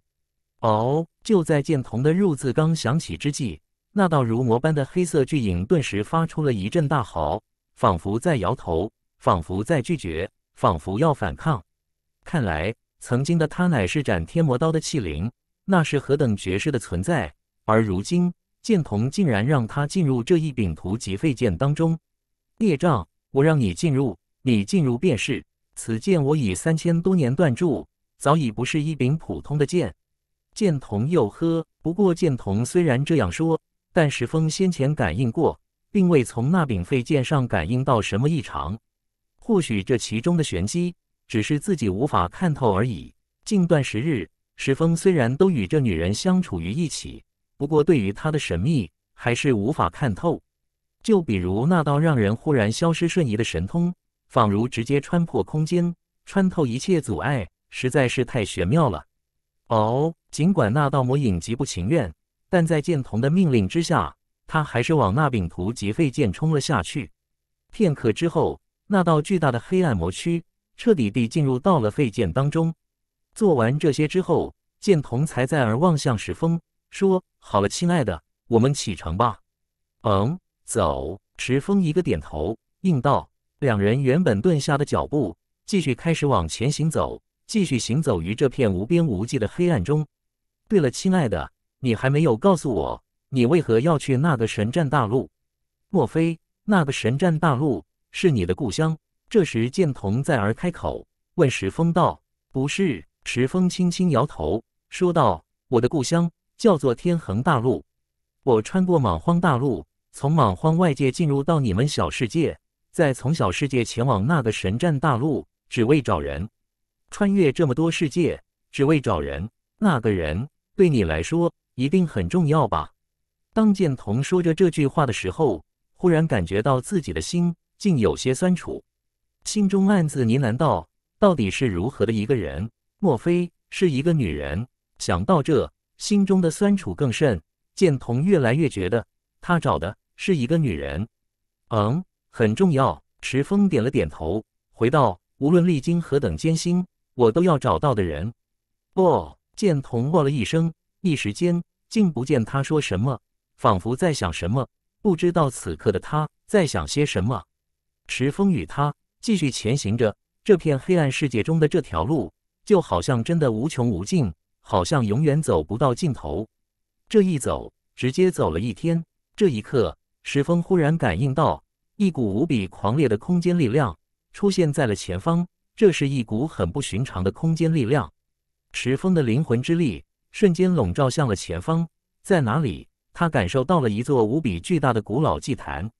这座祭坛看上去已经很是残破，布满了无数裂痕与无比古老的陌生符文，蕴含着无比浑厚的空间力量。但与空间传送祭坛又感觉有些不太一样。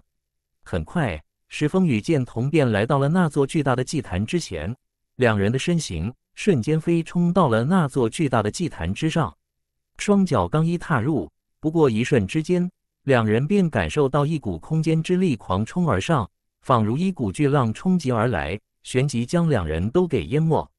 这一刻，石峰只觉眼前的世界发生了天翻地覆的变化，只觉这片黑暗世界沦为了一个巨大无比的黑色漩涡。正在狂烈旋转，而紧跟着光亮进入到了两人的视线当中，混乱旋转的世界也逐渐地平静下来。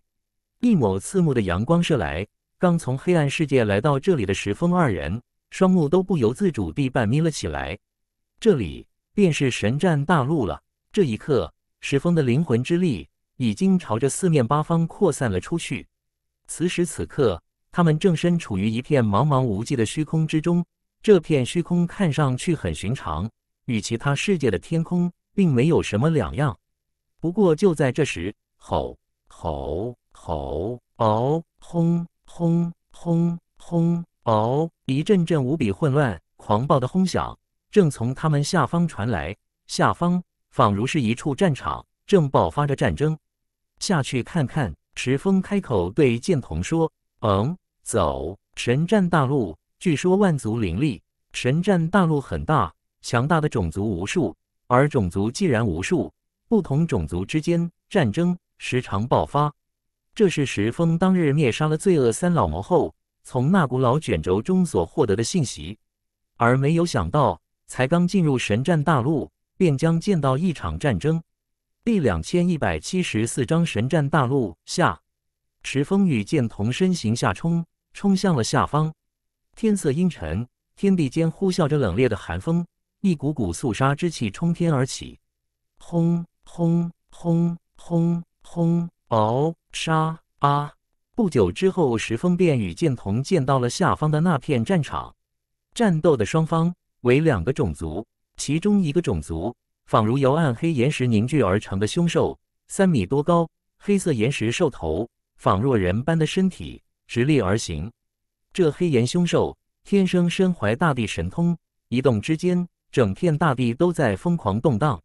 另一种族，人的形态，人般大小，不过却不是人族，暗紫色的皮肤，战斗之时，浑身上下紫雷缭绕。此种族仿佛天生身怀雷霆之力。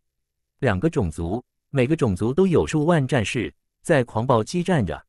当石峰身形刚刚显现战场上空之际，只听一阵娇呼，忽然从下方的战场中喝响“人族”，那道交呼，那“人族”二字，仿佛充满了浓烈的恨意，仿佛咬牙切齿般喊出。发出这阵交呼者，乃是一位身着紫色雷霆战甲的暗紫色皮肤女将，威风凛凛，英姿飒爽。在她一剑洞穿一头岩石巨兽的身躯之际，用她手中的紫色战剑直指长天，指向了石峰。这是一位真神一重天级别的女将。在此战场中，最高级别的便是真神一重天，每个阵营都有三位。下方的这片战场虽然狂暴，不过石峰看了一会儿，便觉得没有什么兴致。自己如果动手的话，可将这簇万人都给轻易轰杀。初入神战大陆，初来此地，与这些异族也没牵扯什么仇怨。石峰倒也没有这么做。对于下方那位用剑指向自己的雷霆女将，石峰没有理会。转过头望向身旁的剑童，开口说道：“这里没什么意思，我们走吧。”石峰想巡视一下这片地域，看看还有没有其他生灵，想亲眼看看这片新的天地是一片怎样的天地。听你的，剑童轻声回道，跟着两人身形一动，破空离去。人族哪里跑？而就在石峰与剑童刚刚急速破空离去的这一刻，那位雷霆女将。竟在而发出了一阵怒然娇喝，她竟然直接离开了这片战场，身形破空而上，冲向苍穹，追向石峰与剑童离去的方向。气瑶，你这是要去哪里？回来，快给我回来！战场之中，一位同样身穿紫色战甲、手持紫色雷霆战枪的年轻小将一声大喝，旋即冲着苍穹喊道：“哼，气应，你的对手是我，与我一战！”你竟然也敢分心，真是找死！而这年轻小将的身前，那位黑岩凶兽口吐人言，冲着他暴吼出声，随之一拳暴轰向前，轰向这紫甲小将。这头黑岩凶兽与那年轻小将都是真神一重天级别的存在。糟糕！感应到那狂暴无匹、强大绝世的一拳，紫甲小将旋即回枪格挡，轰！一阵剧烈的爆破声在而响彻，大地动荡。雷光闪耀，虽然以战枪格挡住了那一拳，不过这叫气硬的年轻小将还是被那一拳给轰得往后爆飞。而这时他已然发现，冲向苍穹的那道紫色娇躯已经消失在了他的视线，心中很是慌急道：“气瑶，哎，真是糟糕啊！我真不该带他来这战场，他可千万不要有什么事啊，不然的话，我怎么向那位交代？”哼，气硬。你竟然还敢分心！看来你真的是要找死！而就在这一刻，刚才的那阵爆吼又响，那头黑岩凶兽黑岩之躯已经飞冲到了紫甲小将的上方，然后硕大的拳头在而吸带着绝世狂力，一拳爆轰了下来，仿佛一切都要在这拳头下被轰成粉碎。该死！一道冷喝声在从这紫甲小将的嘴中喝出，身形虽还在狂猛倒飞。不过，他手中的紫雷长枪一枪刺向苍穹，刺向那暴轰下的一拳。轰！狂雷声爆响，紫色雷霆爆闪。那个女人追上来了，莫非她看上你了不成？而石峰与剑童的身形还在急冲之际，剑童忽然开口对石峰说：“那个女人带着满腔杀意而来，看上我有鬼了。”石峰却说：“跟着。”他身形一动，忽地一顿。与此同时，剑童的身形也顿止而下，然后两人转身望向了身后那道紫色身影。人族见到前方飞逃的那个人族男子，终于停下。那位紫雷战甲女子在而狠狠地吐出了这两字，跟着便见他一剑飞刺于石峰。石峰只觉一道凌厉的剑意飙射而来，剑意之中又带着无比狂烈的雷霆之力，狂雷炸响，这一剑充满了无尽杀意。这女人。想要这一剑只取石峰性命，这一刻，石峰的脸色瞬间阴沉了下来。自己与这一族女人根本无冤无仇，而他竟然对自己动了杀意，他这是找死！去死吧！石峰冷声一喝，轰！一阵雷霆爆鸣声爆响，石峰的拳头之上瞬间爆发出狂烈无匹的暗黑神雷，紧接着一拳爆轰向前，瞬息之间。那道飙射而来的狂烈雷霆剑意，在石峰这一拳下化为虚无，然后的石峰的拳头继续暴轰，暴轰向那柄紫雷战舰。这这一刻，那位紫雷女子暗紫色的俏脸之上，旋即浮现了无比惊骇之容。这个人族男子与自己一样，同为真神一重天之境，但他竟如此轻而易举地破掉了自己的攻击。该死的人族，怎么可能会这么强？紫雷女子满是震惊地暗道。而那一刻，那狂暴的一拳爆轰在了那柄紫雷战舰之上，轰！狂暴无匹的爆破震向天地。这紫雷女子只觉一股无比强大的狂力从剑上传来，身躯狂震，只觉整个天地都在狂烈旋转一般。去死吧！这是他在这个世间听到的最后一阵声音。石峰已经逼到了这紫雷女子的身前，然后那狂暴的一拳继续轰击。爆轰在了那个女人的面门之上，那张暗紫色、五官异常精致绝美的脸面，直接被轰得凹陷了进去，瞬间面目全非。一位异族身怀雷霆神通的真神一众天境女子就此陨落。跟着，石峰九幽冥宫运转，开始吞噬第两千一百七十五章神战大陆天荒神殿。石峰一拳粗暴地灭杀了那紫雷女子后，吞噬了她的死亡之力与血液。这女子的血一片紫色，又蕴含着无比浑厚的雷霆之力。真神强者的紫色雷霆神血，石峰感应到吞噬了之后，体内的灭魔神雷都仿佛有了细微的强化。虽然是细微强化，不过已经很不错了。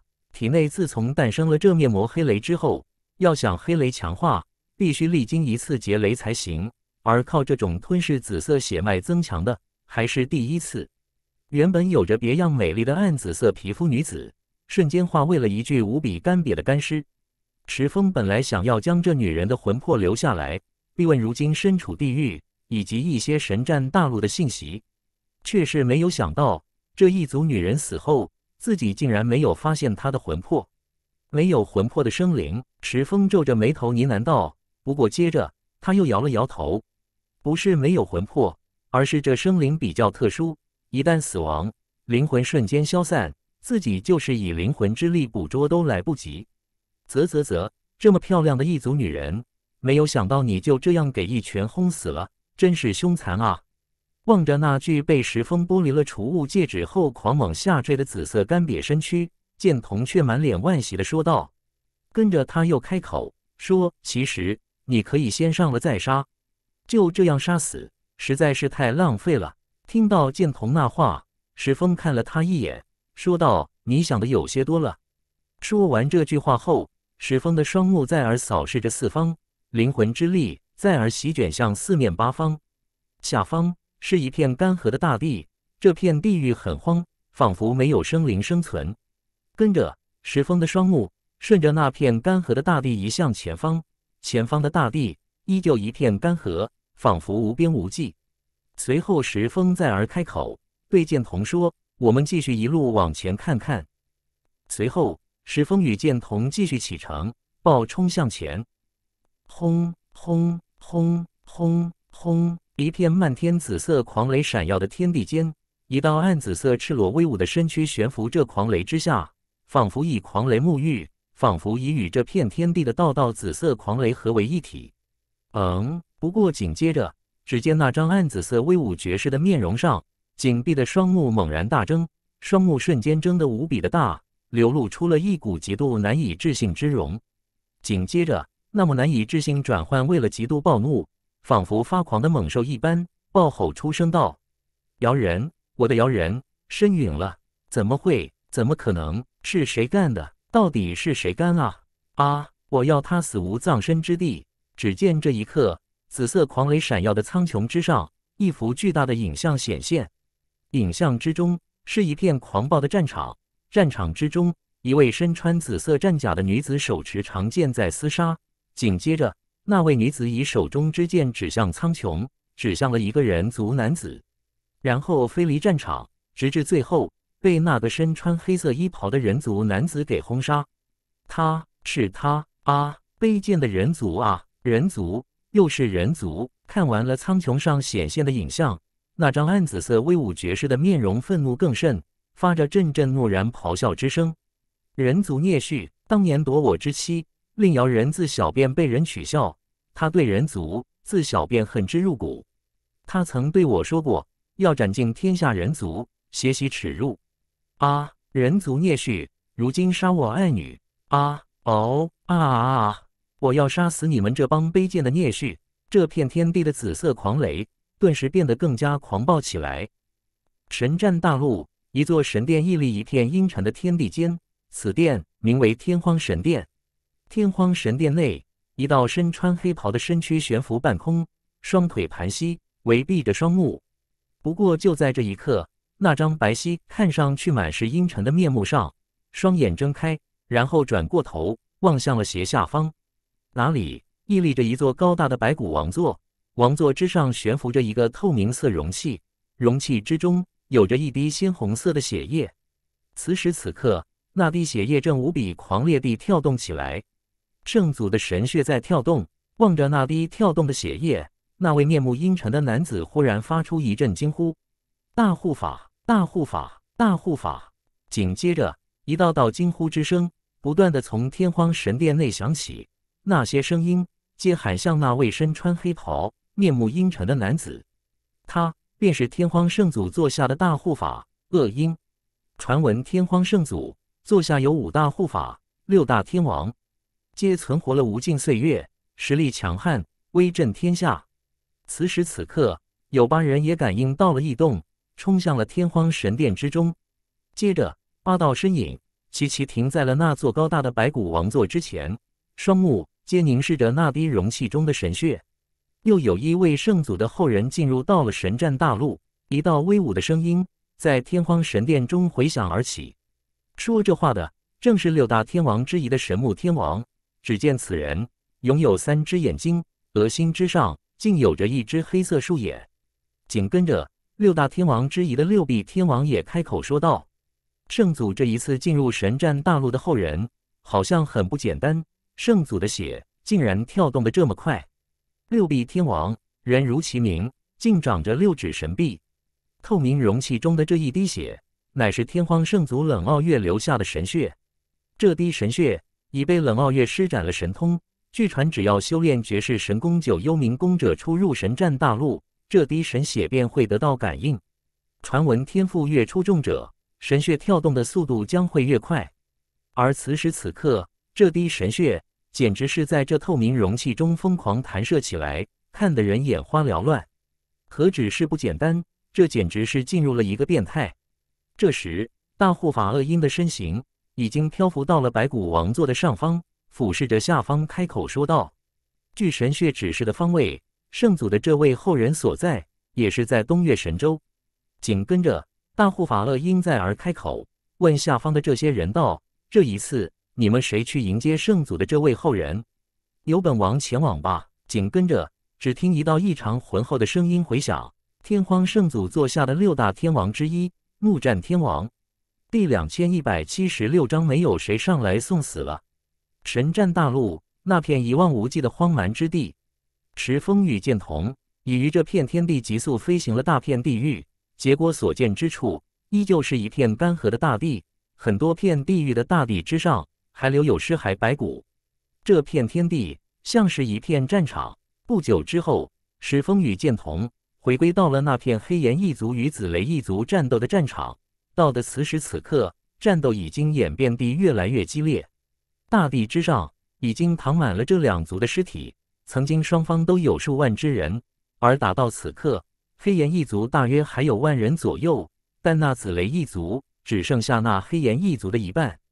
而黑岩一族本就高大，看着两族大军好像已经相差了无数倍，而真神强者。这紫雷一族只剩下了一名年轻的紫雷战将，黑岩一族三名真神强者皆在，已向那年轻战将展开合围攻势。哈哈哈！气硬，我承认你的天赋不凡，竟然在我的力量下挺到了现在。不过你今日终将难逃一死。一位黑岩一族强者发出了无比畅快的大笑，口吐人言，对那紫雷一族年轻小将笑道：“如果没有意外，没有援军的话。”今日胜者必将是这黑岩一族。不过就在这一刻，意外真的发生。只听一道年轻悠然的声音忽然在这片天地间回荡而起：“好了，你们就先站到这里吧，都先停一停，本神有话问你们。”这语气虽然满是随意淡然，不过却透着不容拒绝。当听到那道声音之后，无数道目光注意到了苍穹之上，凝视在了那道年轻的身影。人族，嗯，是个人族。一道道呼声从异族们的嘴中响起。不过双方激烈的厮杀，没有杀倒对方，不可能因为这么一句话而停下来。主要是异族们没有怎么将那个人看在眼中。哪里来的人族小子，竟然在此如此张狂？真神一重天之境，就以为可以目中无人了不成？正为公子雷一族年轻小将的一位黑岩战将，望到虚空中的那道黑色身影之后，旋即发出了一道不屑的声音。紧接着，他对两位一重天同伴开口说：“你二人先合杀气印，我去去就回。我会让这人族小子知道我们炎魔族的强大，他很快就会明白什么叫做凶残。”当说着这番话的时候，那位炎魔族战将高大的身躯已经冲天飞起。狂猛冲向石峰而去，严米，小心一些！下方的一位真神同伴旋即对那方冲飞而去的炎魔族战将叮嘱：“放心吧。”那位炎魔战将却是满脸不屑回道：“那如野兽般的黑岩脸孔之上流露出了一抹戏谑般的冷笑。看他这副模样，简直是完全不将虚空中的那道黑色身影放在眼里，或者说，虚空中的那个人族。”在他眼中，已经跟一具死尸没有什么区别。跟着，这位叫严米的炎魔战将冲着上空的石峰冷笑着说：“人族小子，就你也敢在我等头顶之上嚣张？你会为你的嚣张后悔以及忏悔。”说着这句话的时候，他的右拳已然握拳，然后一拳狂猛暴轰而上。这一拳携带着亿万军神力，仿如要毁灭一切。若是一座大山的话。都能瞬间在这一拳下化为虚无。面对如此一拳，史峰的脸上却依旧一片淡然之容，缓缓开口说：“找死！”自己都已命令下方战斗停止，而到的此刻，这些异族竟然还在厮杀，看来是自己的威慑力还不够。既然不够，那么就杀鸡儆猴，死吧！石峰只淡淡的说了这两个字，而淡然的这两字。旋即在这片天地间回响起，随后石峰右手一指点出，点在了那道暴轰而来的硕大拳头之上。轰！只听一道异常狂暴的爆破声响彻，而紧接着，无数张面容在这一刻猛然大变，皆显露出了无比震惊之容。他们见到那位绝强的炎魔族战将炎米，竟然在那人的一指之下，身躯爆破开来，瞬间化为了万千黑色石块。朝着四面八方狂乱飞射，而这片天地旋即下起了一阵黑色的雨水。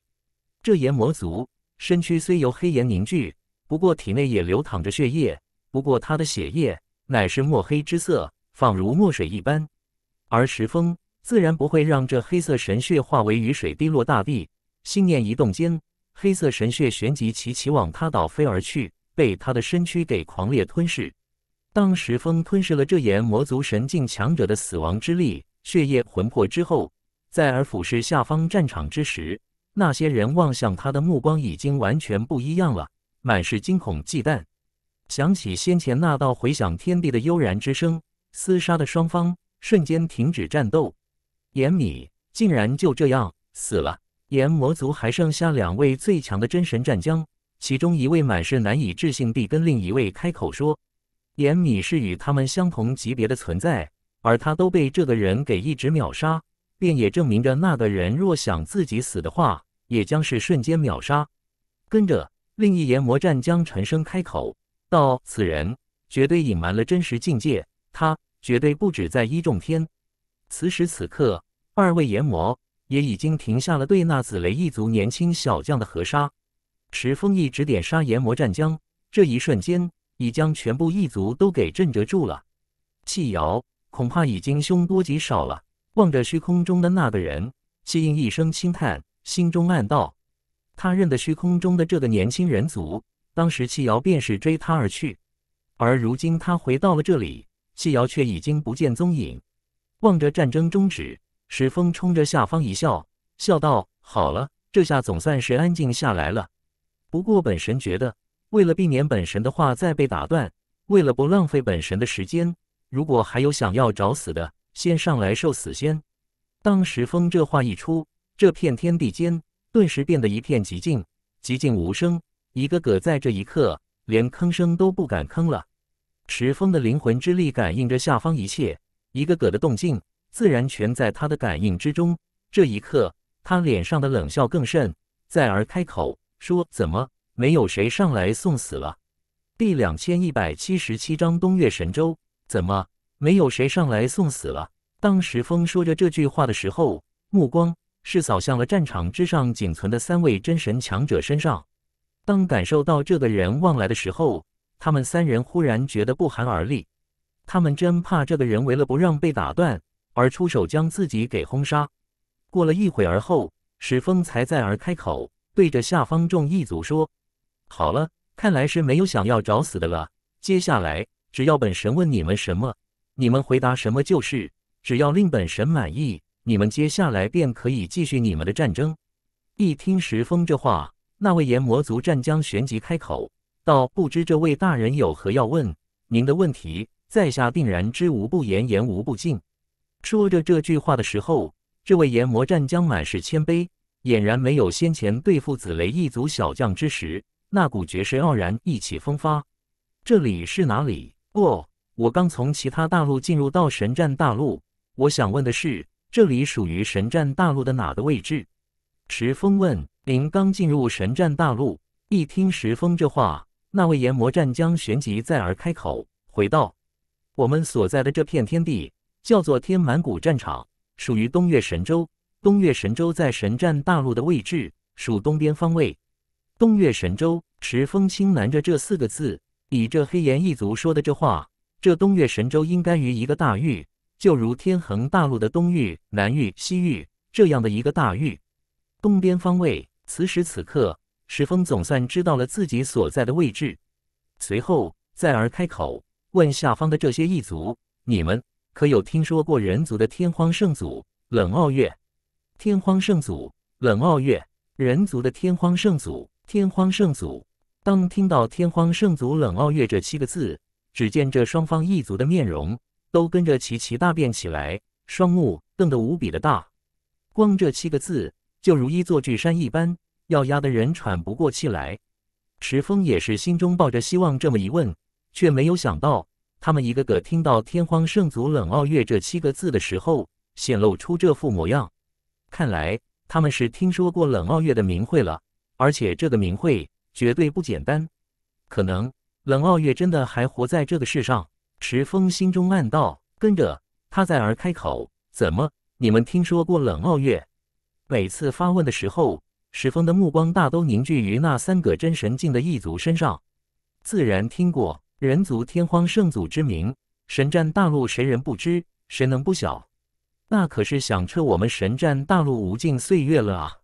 炎魔族另一位战将也随即开口说：“不，冷傲月他如今还在世上。”池峰又问：“人族的天荒圣祖，早就无尽岁月前便已达传说之境，听说他早就成就不死之身，永生不死，永生不灭，与天地共存。”这时，那位紫雷一族的年轻小将也开口：“那么变态？”池峰暗道：“不过那小子曾经的天赋便不错，而如今在这神战大陆存活了无尽岁月而不死，想必他如今的实力定然是不简单吧。”不知道那所谓的传说之境是已经达到什么境界了。石峰曾经在小世界的时候得知真神一重天、二重天、三重天的时候，便知道后面肯定还有四重天、五重天、六重天。他曾经听过这么一句话：“武道一途，没有尽头。”不知道如今的冷傲月已经达到了几重天？那么冷傲月如今在神战大陆哪个位置？石峰问道。如今知道冷傲月还存活于世，他自然要先找到他。天荒圣祖的天荒神殿处于中傲神州，也就是我们神战大陆的中心。炎魔战将回道：“你们可有神战大陆的地图？”石峰问：“我没有，我没有。”两位炎魔战将在这一刻同时摇了摇头，而接着那位紫雷族年轻小将也是缓缓地摇了摇头，跟着石峰的双目。灵魂之力再而扫视向了其他异族。这一刻，下方的人群变得出奇的安静，直到过了一会儿，仍未有人出声。看来这些异族是没有神战大陆的地图了，又或者可能谁有，只是不愿交给自己。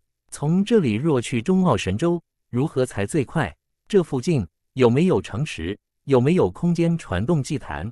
石峰又问道。大人，您一直往北，大约千里之外，有一座远古传送祭坛，从那祭坛可离开这天满谷战场。随后，石峰还从这些异族们的口中得知，其实大都是从那两个炎魔战将那得知。东岳神州无数种族林立，不过在无尽岁月之前，无数种族联合起来，将东岳神州的所有人族都给驱逐出了出去。在东岳神州。已经很少看得见人族，特别是弱小的人族。而在东岳神州，有很强大的种族，据说很强很强。他们炎魔族与那雷古族在东岳神州不过算是中下实力的种族而已。真正强大的种族，据说很强，无比的强大。真正强大的异族，据说有步入了真神七重天之境。真神七重天，这已然是石峰目前不敢去招惹的存在。而当他问到天荒圣族冷傲月如今在哪个境界的时候，他们只听说人族的天荒圣族很强大，但没有人知道他到底强大到了什么地步。世间有传言，天荒圣祖步入了真神九重天，更有人说他已经超脱了真神九重天。据他们估计，而从这里前往中奥神州的话，中途起码需要经过二十多个种族的地狱。从这天满谷战场往北的传送祭坛出去，是海巫族的地盘。听炎魔族说，海巫族刚好处于他们炎魔族与雷古族的中间，那是一个十分弱小的种族，却是有着一个其他种族无法明白的使命，世代守护着这片天满谷战场。曾经有人怀疑，这海巫族既然世代守护天满谷战场，那么这天满谷战场中是不是埋藏着一座大家不知的远古宝藏？不过无尽岁月下来，无数人进入到天满谷战场寻找宝藏。不过这里除了一片无边无际的干涸大地之外，还有战争遗留下的尸骸，根本就没有其他的什么发现。那么就先去那个海巫族那座海巫城。石峰再一次暗暗开口呢喃道：“第两千一百七十八章海巫城。”从这些异族口中得到一些关于神战大陆的一些简单情报。使风雨剑童身形一动，往北疾飞。那一道黑色人影逐渐消失在了异族们的视线当中，直至彻底消失之后，那一位炎魔族战将那张黑炎兽脸之上忽地咧嘴，露出了一抹邪恶的笑，笑道：“人族，你威胁我等一切，本将军都如实告诉你了。除了海巫族，那可不是一个弱小的种族。呵，海巫族弱小的话。”他如何能存在我们八大种族中心地域？我们在边界爆发战争，要不是忌惮这海巫族，我们怎么可能进入这天满谷战场战斗？东岳神州相传有一个很神秘的稀有种族，叫做海巫族。不仅神秘，传闻还很强大。但一般情况下，他们都过着与世无争的生活，很少与其他种族发生什么纠葛。而东岳神州的种族们知道这个种族不好招惹。曾经有种族招惹过，甚至吃过大亏，而如今在东岳神州已没有种族去招惹他。据说这种族在远古的时候生活在大海里，但在无尽岁月之前，由于发生了一些变故，从海中迁徙到了东岳神州。而这位炎魔族战将恰巧在一次无意间知晓了一些关于那海巫族迁徙的内情。传说无尽岁月之前，海巫族生存的那片海域。出现了一批强大的人族，这些人族或许与这海巫族有什么仇怨，但到底什么仇怨，或者到底有没有仇怨，这个他不清楚。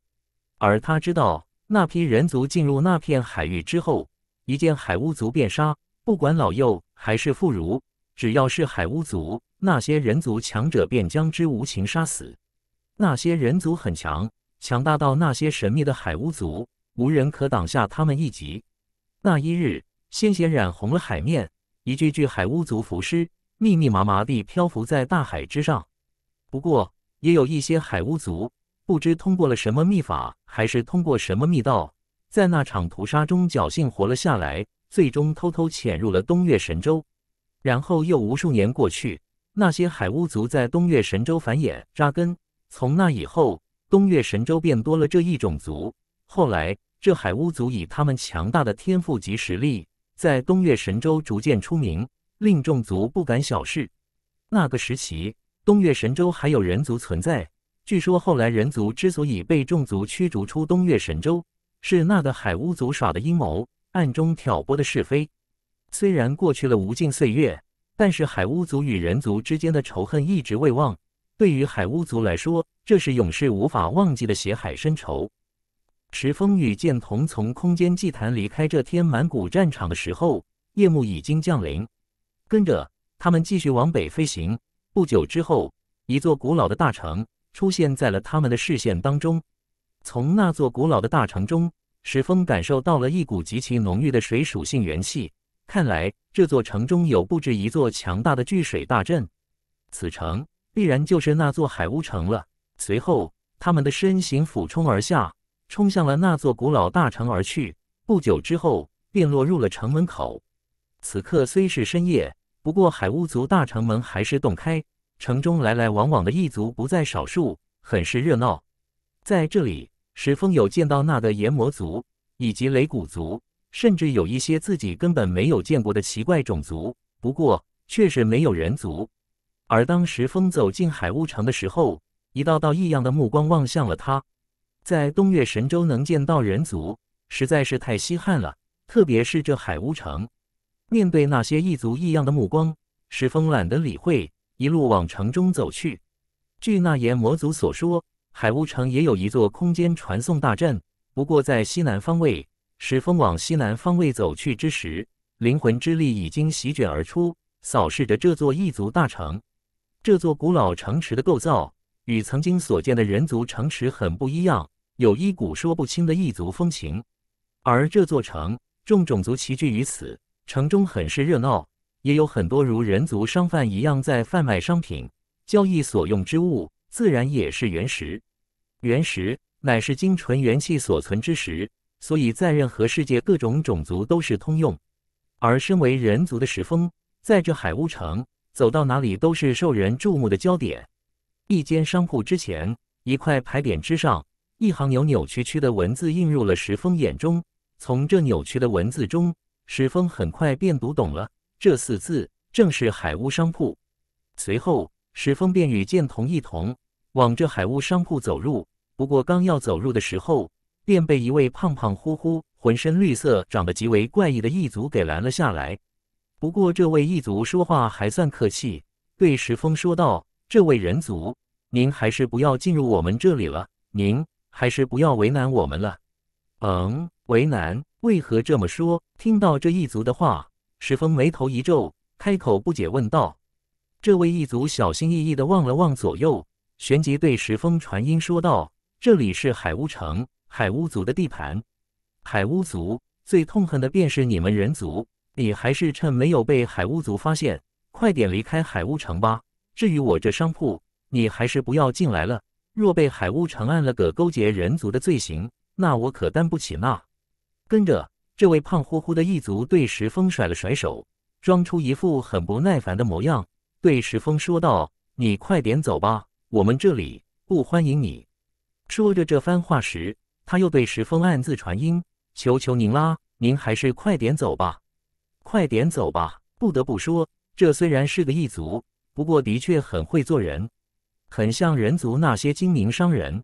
听到他的那些话，石峰的眉头越皱越深。不过，他也没有为难这个异族，退出了这个商铺。不过，虽然退出，史峰却对剑童传音道：“你进去这家店铺看看，看看有没有我所需要的神战大陆地图。”好的，亲爱的。剑童一应声，跟着身形直接往这海巫商铺走去。这时，石峰也发现，行走这海巫城的时候，一道道异样目光望着自己之时，一个个异族都不自觉地跟自己避开。与自己保持着一段距离。第两千一百七十九章海巫族。累的，这一个个搞得本少很可怕似的。望着那些有意避开自己的异族人，石峰暗骂了一声，这还是他第一次经历这样的情况。不久之后，剑童从这间海屋商铺出来的时候，对石峰摇了摇头，道：“这间商铺并没有任何地图。”算了，石峰道，跟着又道：“这座城的异族人看上去都很奇怪，而且我忽然感觉到一股不安。我们还是前往空间祭坛，前往下一座城再说。”好的，剑童轻声地应了这两个字。随后，他二人直接往空间祭坛所在的西南方向行去。不过，就在这一刻，只听一道异常冰冷的声音忽然在这片天地间回响起：“人。”族人族二字一字一顿狠狠吐出，仅仅二字，仿佛充斥着无尽的仇恨。池峰顿时感应到一股无尽的杀意从天而降，已将自己给笼罩于其中。池峰猛然抬头望向了夜空，只见夜空之中傲立着三道身影，三道身影处于三个大水泡当中，有着三张绝美的容颜。他们的容颜与人族长得一样，不过却是异常的美。这其中两男一女，就连那两位男子都要以美来形容他们的样貌，才更加贴切。而他们的身躯看上去也与人族极像，只是他们的浑身上下缠满了如铁链般的绿色水草，好浓郁的水之元素，想必这便是那个海巫族。池峰暗自开口说，而他面色顿时变得有些凝重起来。这三个海巫族给了他一股极为神秘的感觉。甚至透着一股邪意，自己竟然看不透他们的境界。这座城虽为海巫城，不过石峰的灵魂感应之中，这片天地只有这三个海巫族。海巫族是海巫族出现了。海巫族当见到夜空之中出现的三名海巫族，一个个异族们也是发出了阵阵惊呼。就连他们在海巫城见到海巫族，都仿佛感觉到极为惊讶一般。平时。我们在海巫城根本难以见到这神秘的海巫族。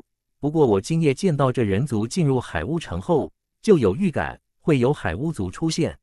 不知这三位海巫族乃什么境界？不知怎么称呼？海巫族之神秘，我们平时根本难得一见，哪里知道他们名讳？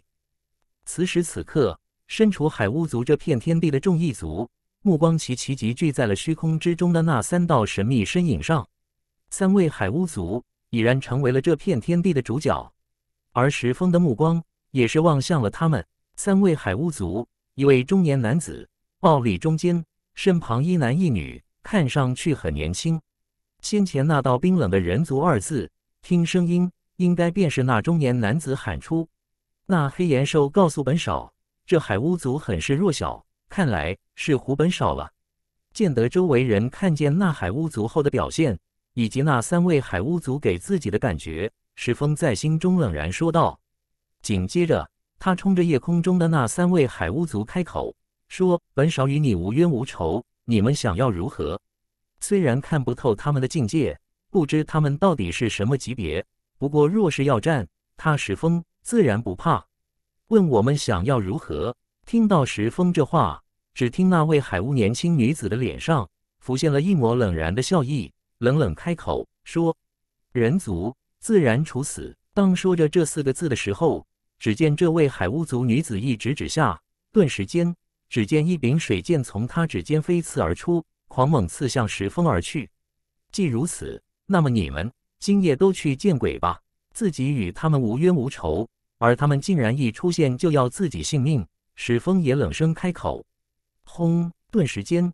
只见一阵雷鸣之音从石峰的身上爆响而去，他的右拳之上瞬间爆发起了狂烈魔雷，紧接着便见石峰一拳爆轰而上，随即轰击在了那柄水剑之上。轰！空间在石峰在这一拳下猛然炸响，而紧接着，只见那柄水剑瞬间在石峰这一拳下破灭。嗯嗯，当石峰这一拳轰灭那海巫族女子的水之剑后。只见这三位海巫族绝美的面容上同时显现金容。那个人族明明只是真神一重天境界而已，没有想到却一拳破灭了他的攻击。这个人族给我的感觉很不简单，你们不可大意。而就在这时，那位海巫族中年男子开口对身旁的两人嘱咐道：“明白，父亲，放心吧，父亲，海巫族二人同时点头，紧接着，只见他二人身形同时移动，往下方冲了下去。而那位海巫族的中年男子继续傲立于虚空，俯视下方。见他这副模样，仿佛没有出手的意思。池峰见到那两个海巫族冲来，两人同时往虚空一抓，那位女子抓出了一柄仿如水凝聚而成的长剑，那位男子抓出了一柄水之大斧。强大的水之神力无比狂猛地凝聚在了他们的玄气之上。下一刻，剑狂猛下刺，斧狂猛劈砍，同时攻向石峰。石峰刚才一拳破灭那柄水之剑的时候，感受到那股力量应该已经接近了真神二重天。而就在这时，又是轰的一声，他的左拳之上也旋即暗黑雷光闪耀，双拳同时爆轰而上，右拳轰在了那柄水之长剑上，左拳迎击于那柄水之大斧。呃呃，紧接着便见两阵沉闷的哼声响起，两位攻向石峰的海巫族。在石峰的暴轰下，身躯同时狂猛一震，脸色在而大变。这一刻，他们才真正意识到了下方这个人族的不简单。这明明只有真神一重天之境的人族，给我滚！跟着石峰冷声一喝，双拳在而狂猛一震，震击在了他二人的玄气之上。那本就身躯震颤的二个海巫族，身躯顿时被石峰给震得冲飞而起，往上暴冲，杀！就在这一刻，石峰在而冷冷一喝，他的身形也是动了，也是暴冲而上。而他此刻冲击而去的对象，是那位海奥利夜空的海巫族中年男子。这个中年男子目视着下方，右手成爪，而他的爪上正抓着一个水球。这个水球正在狂猛吞噬着这片天地间浑厚的水之元素，正在越变越大。而他给石峰的感觉变得越来越狂暴，越来越危险。第两千一百八十章斩海巫。石峰身形狂猛暴冲而上，而在他的身形往那海巫族中年男子急速逼近之际，只见他手爪中的水球变得越来越庞大，溢出的水之力量也变得越来越狂暴。而就在这时，那海巫族中年男子俊美的脸上咧嘴要挟一笑，道：“我海巫城有海巫族布下的海神大阵，别说灭杀你一个小小的神境一重天。”就是神境五重天都要在我的这道力量下毁灭。说着这番话的时候，只见他手爪往下猛然一动，庞大的水球朝着那道到来的身影暴轰了下去。众目睽睽之下，眼见水球即将轰中那道黑色身影之际，忽然间，众异族见到那道黑色身影忽然诡异地消失了。怎么回事？不仅众异族，就连海巫族的那位中年男子。面色都在这一刻猛然一变，那人诡异的消失，就仿佛这一瞬间从世上蒸发了一般，自己竟然完全感应不到他的存在。小心，父亲在上面，父亲上方。而这时，只听夜空之中响起了两阵惊然大吼，正是那两个被石峰轰上夜空的海巫族年轻男女。此时此刻，他们的身形已经稳住，往下狂猛暴冲。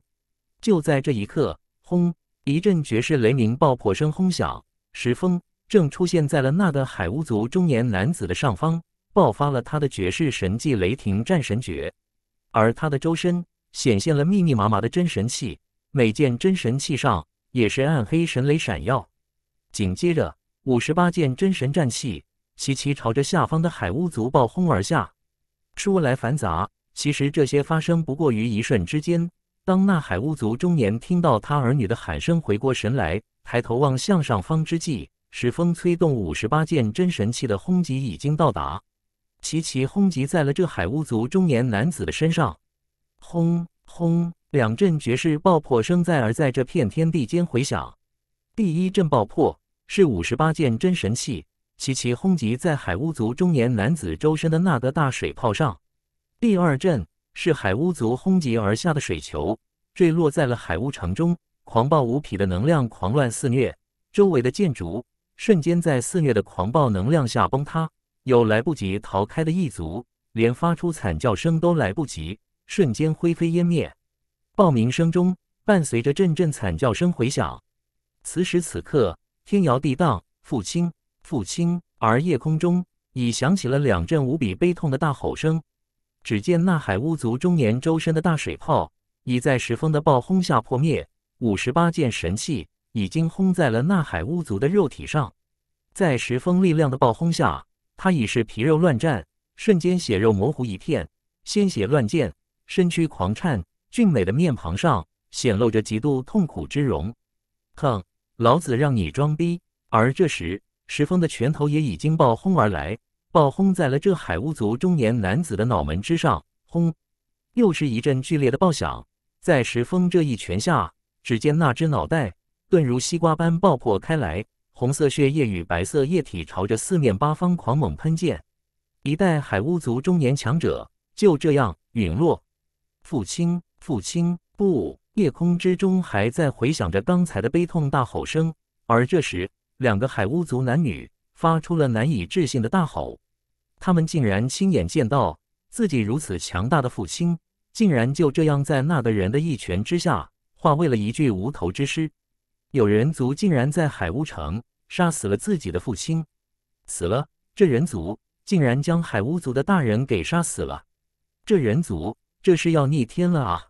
他强大神秘的海巫族定然不会放过他的。是啊。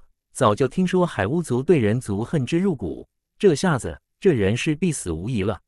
海巫族的恐怖，我其实很清楚。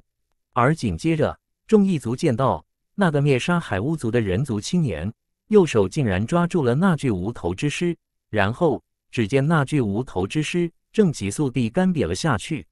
我要杀了你！啊！大吼声又一次在石峰上方回响起。只见下冲的海巫族二人。气势汹汹地朝着石峰再而杀来，去！石峰很是随意地淡然说了这么一字。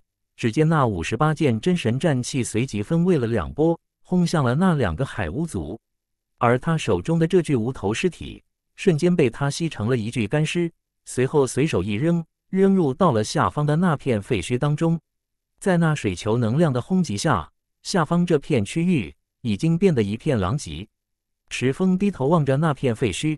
想想刚才那水球上传出的水之神力，现在想想仍然感觉到心有余悸。刚才他从那水球能量上感受到了异常危险的气息，要不是传音剑童，而剑童助自己及时瞬移的话，那后果简直不堪设想。吞噬了那的海巫中年男子之后，石峰知道这个海巫族的境界应该达到了真神三重天。不过那道水球能量。却远不是真神三重天的能量可比。看来这海巫族果然神秘诡异。对了，剑童，剑童呢？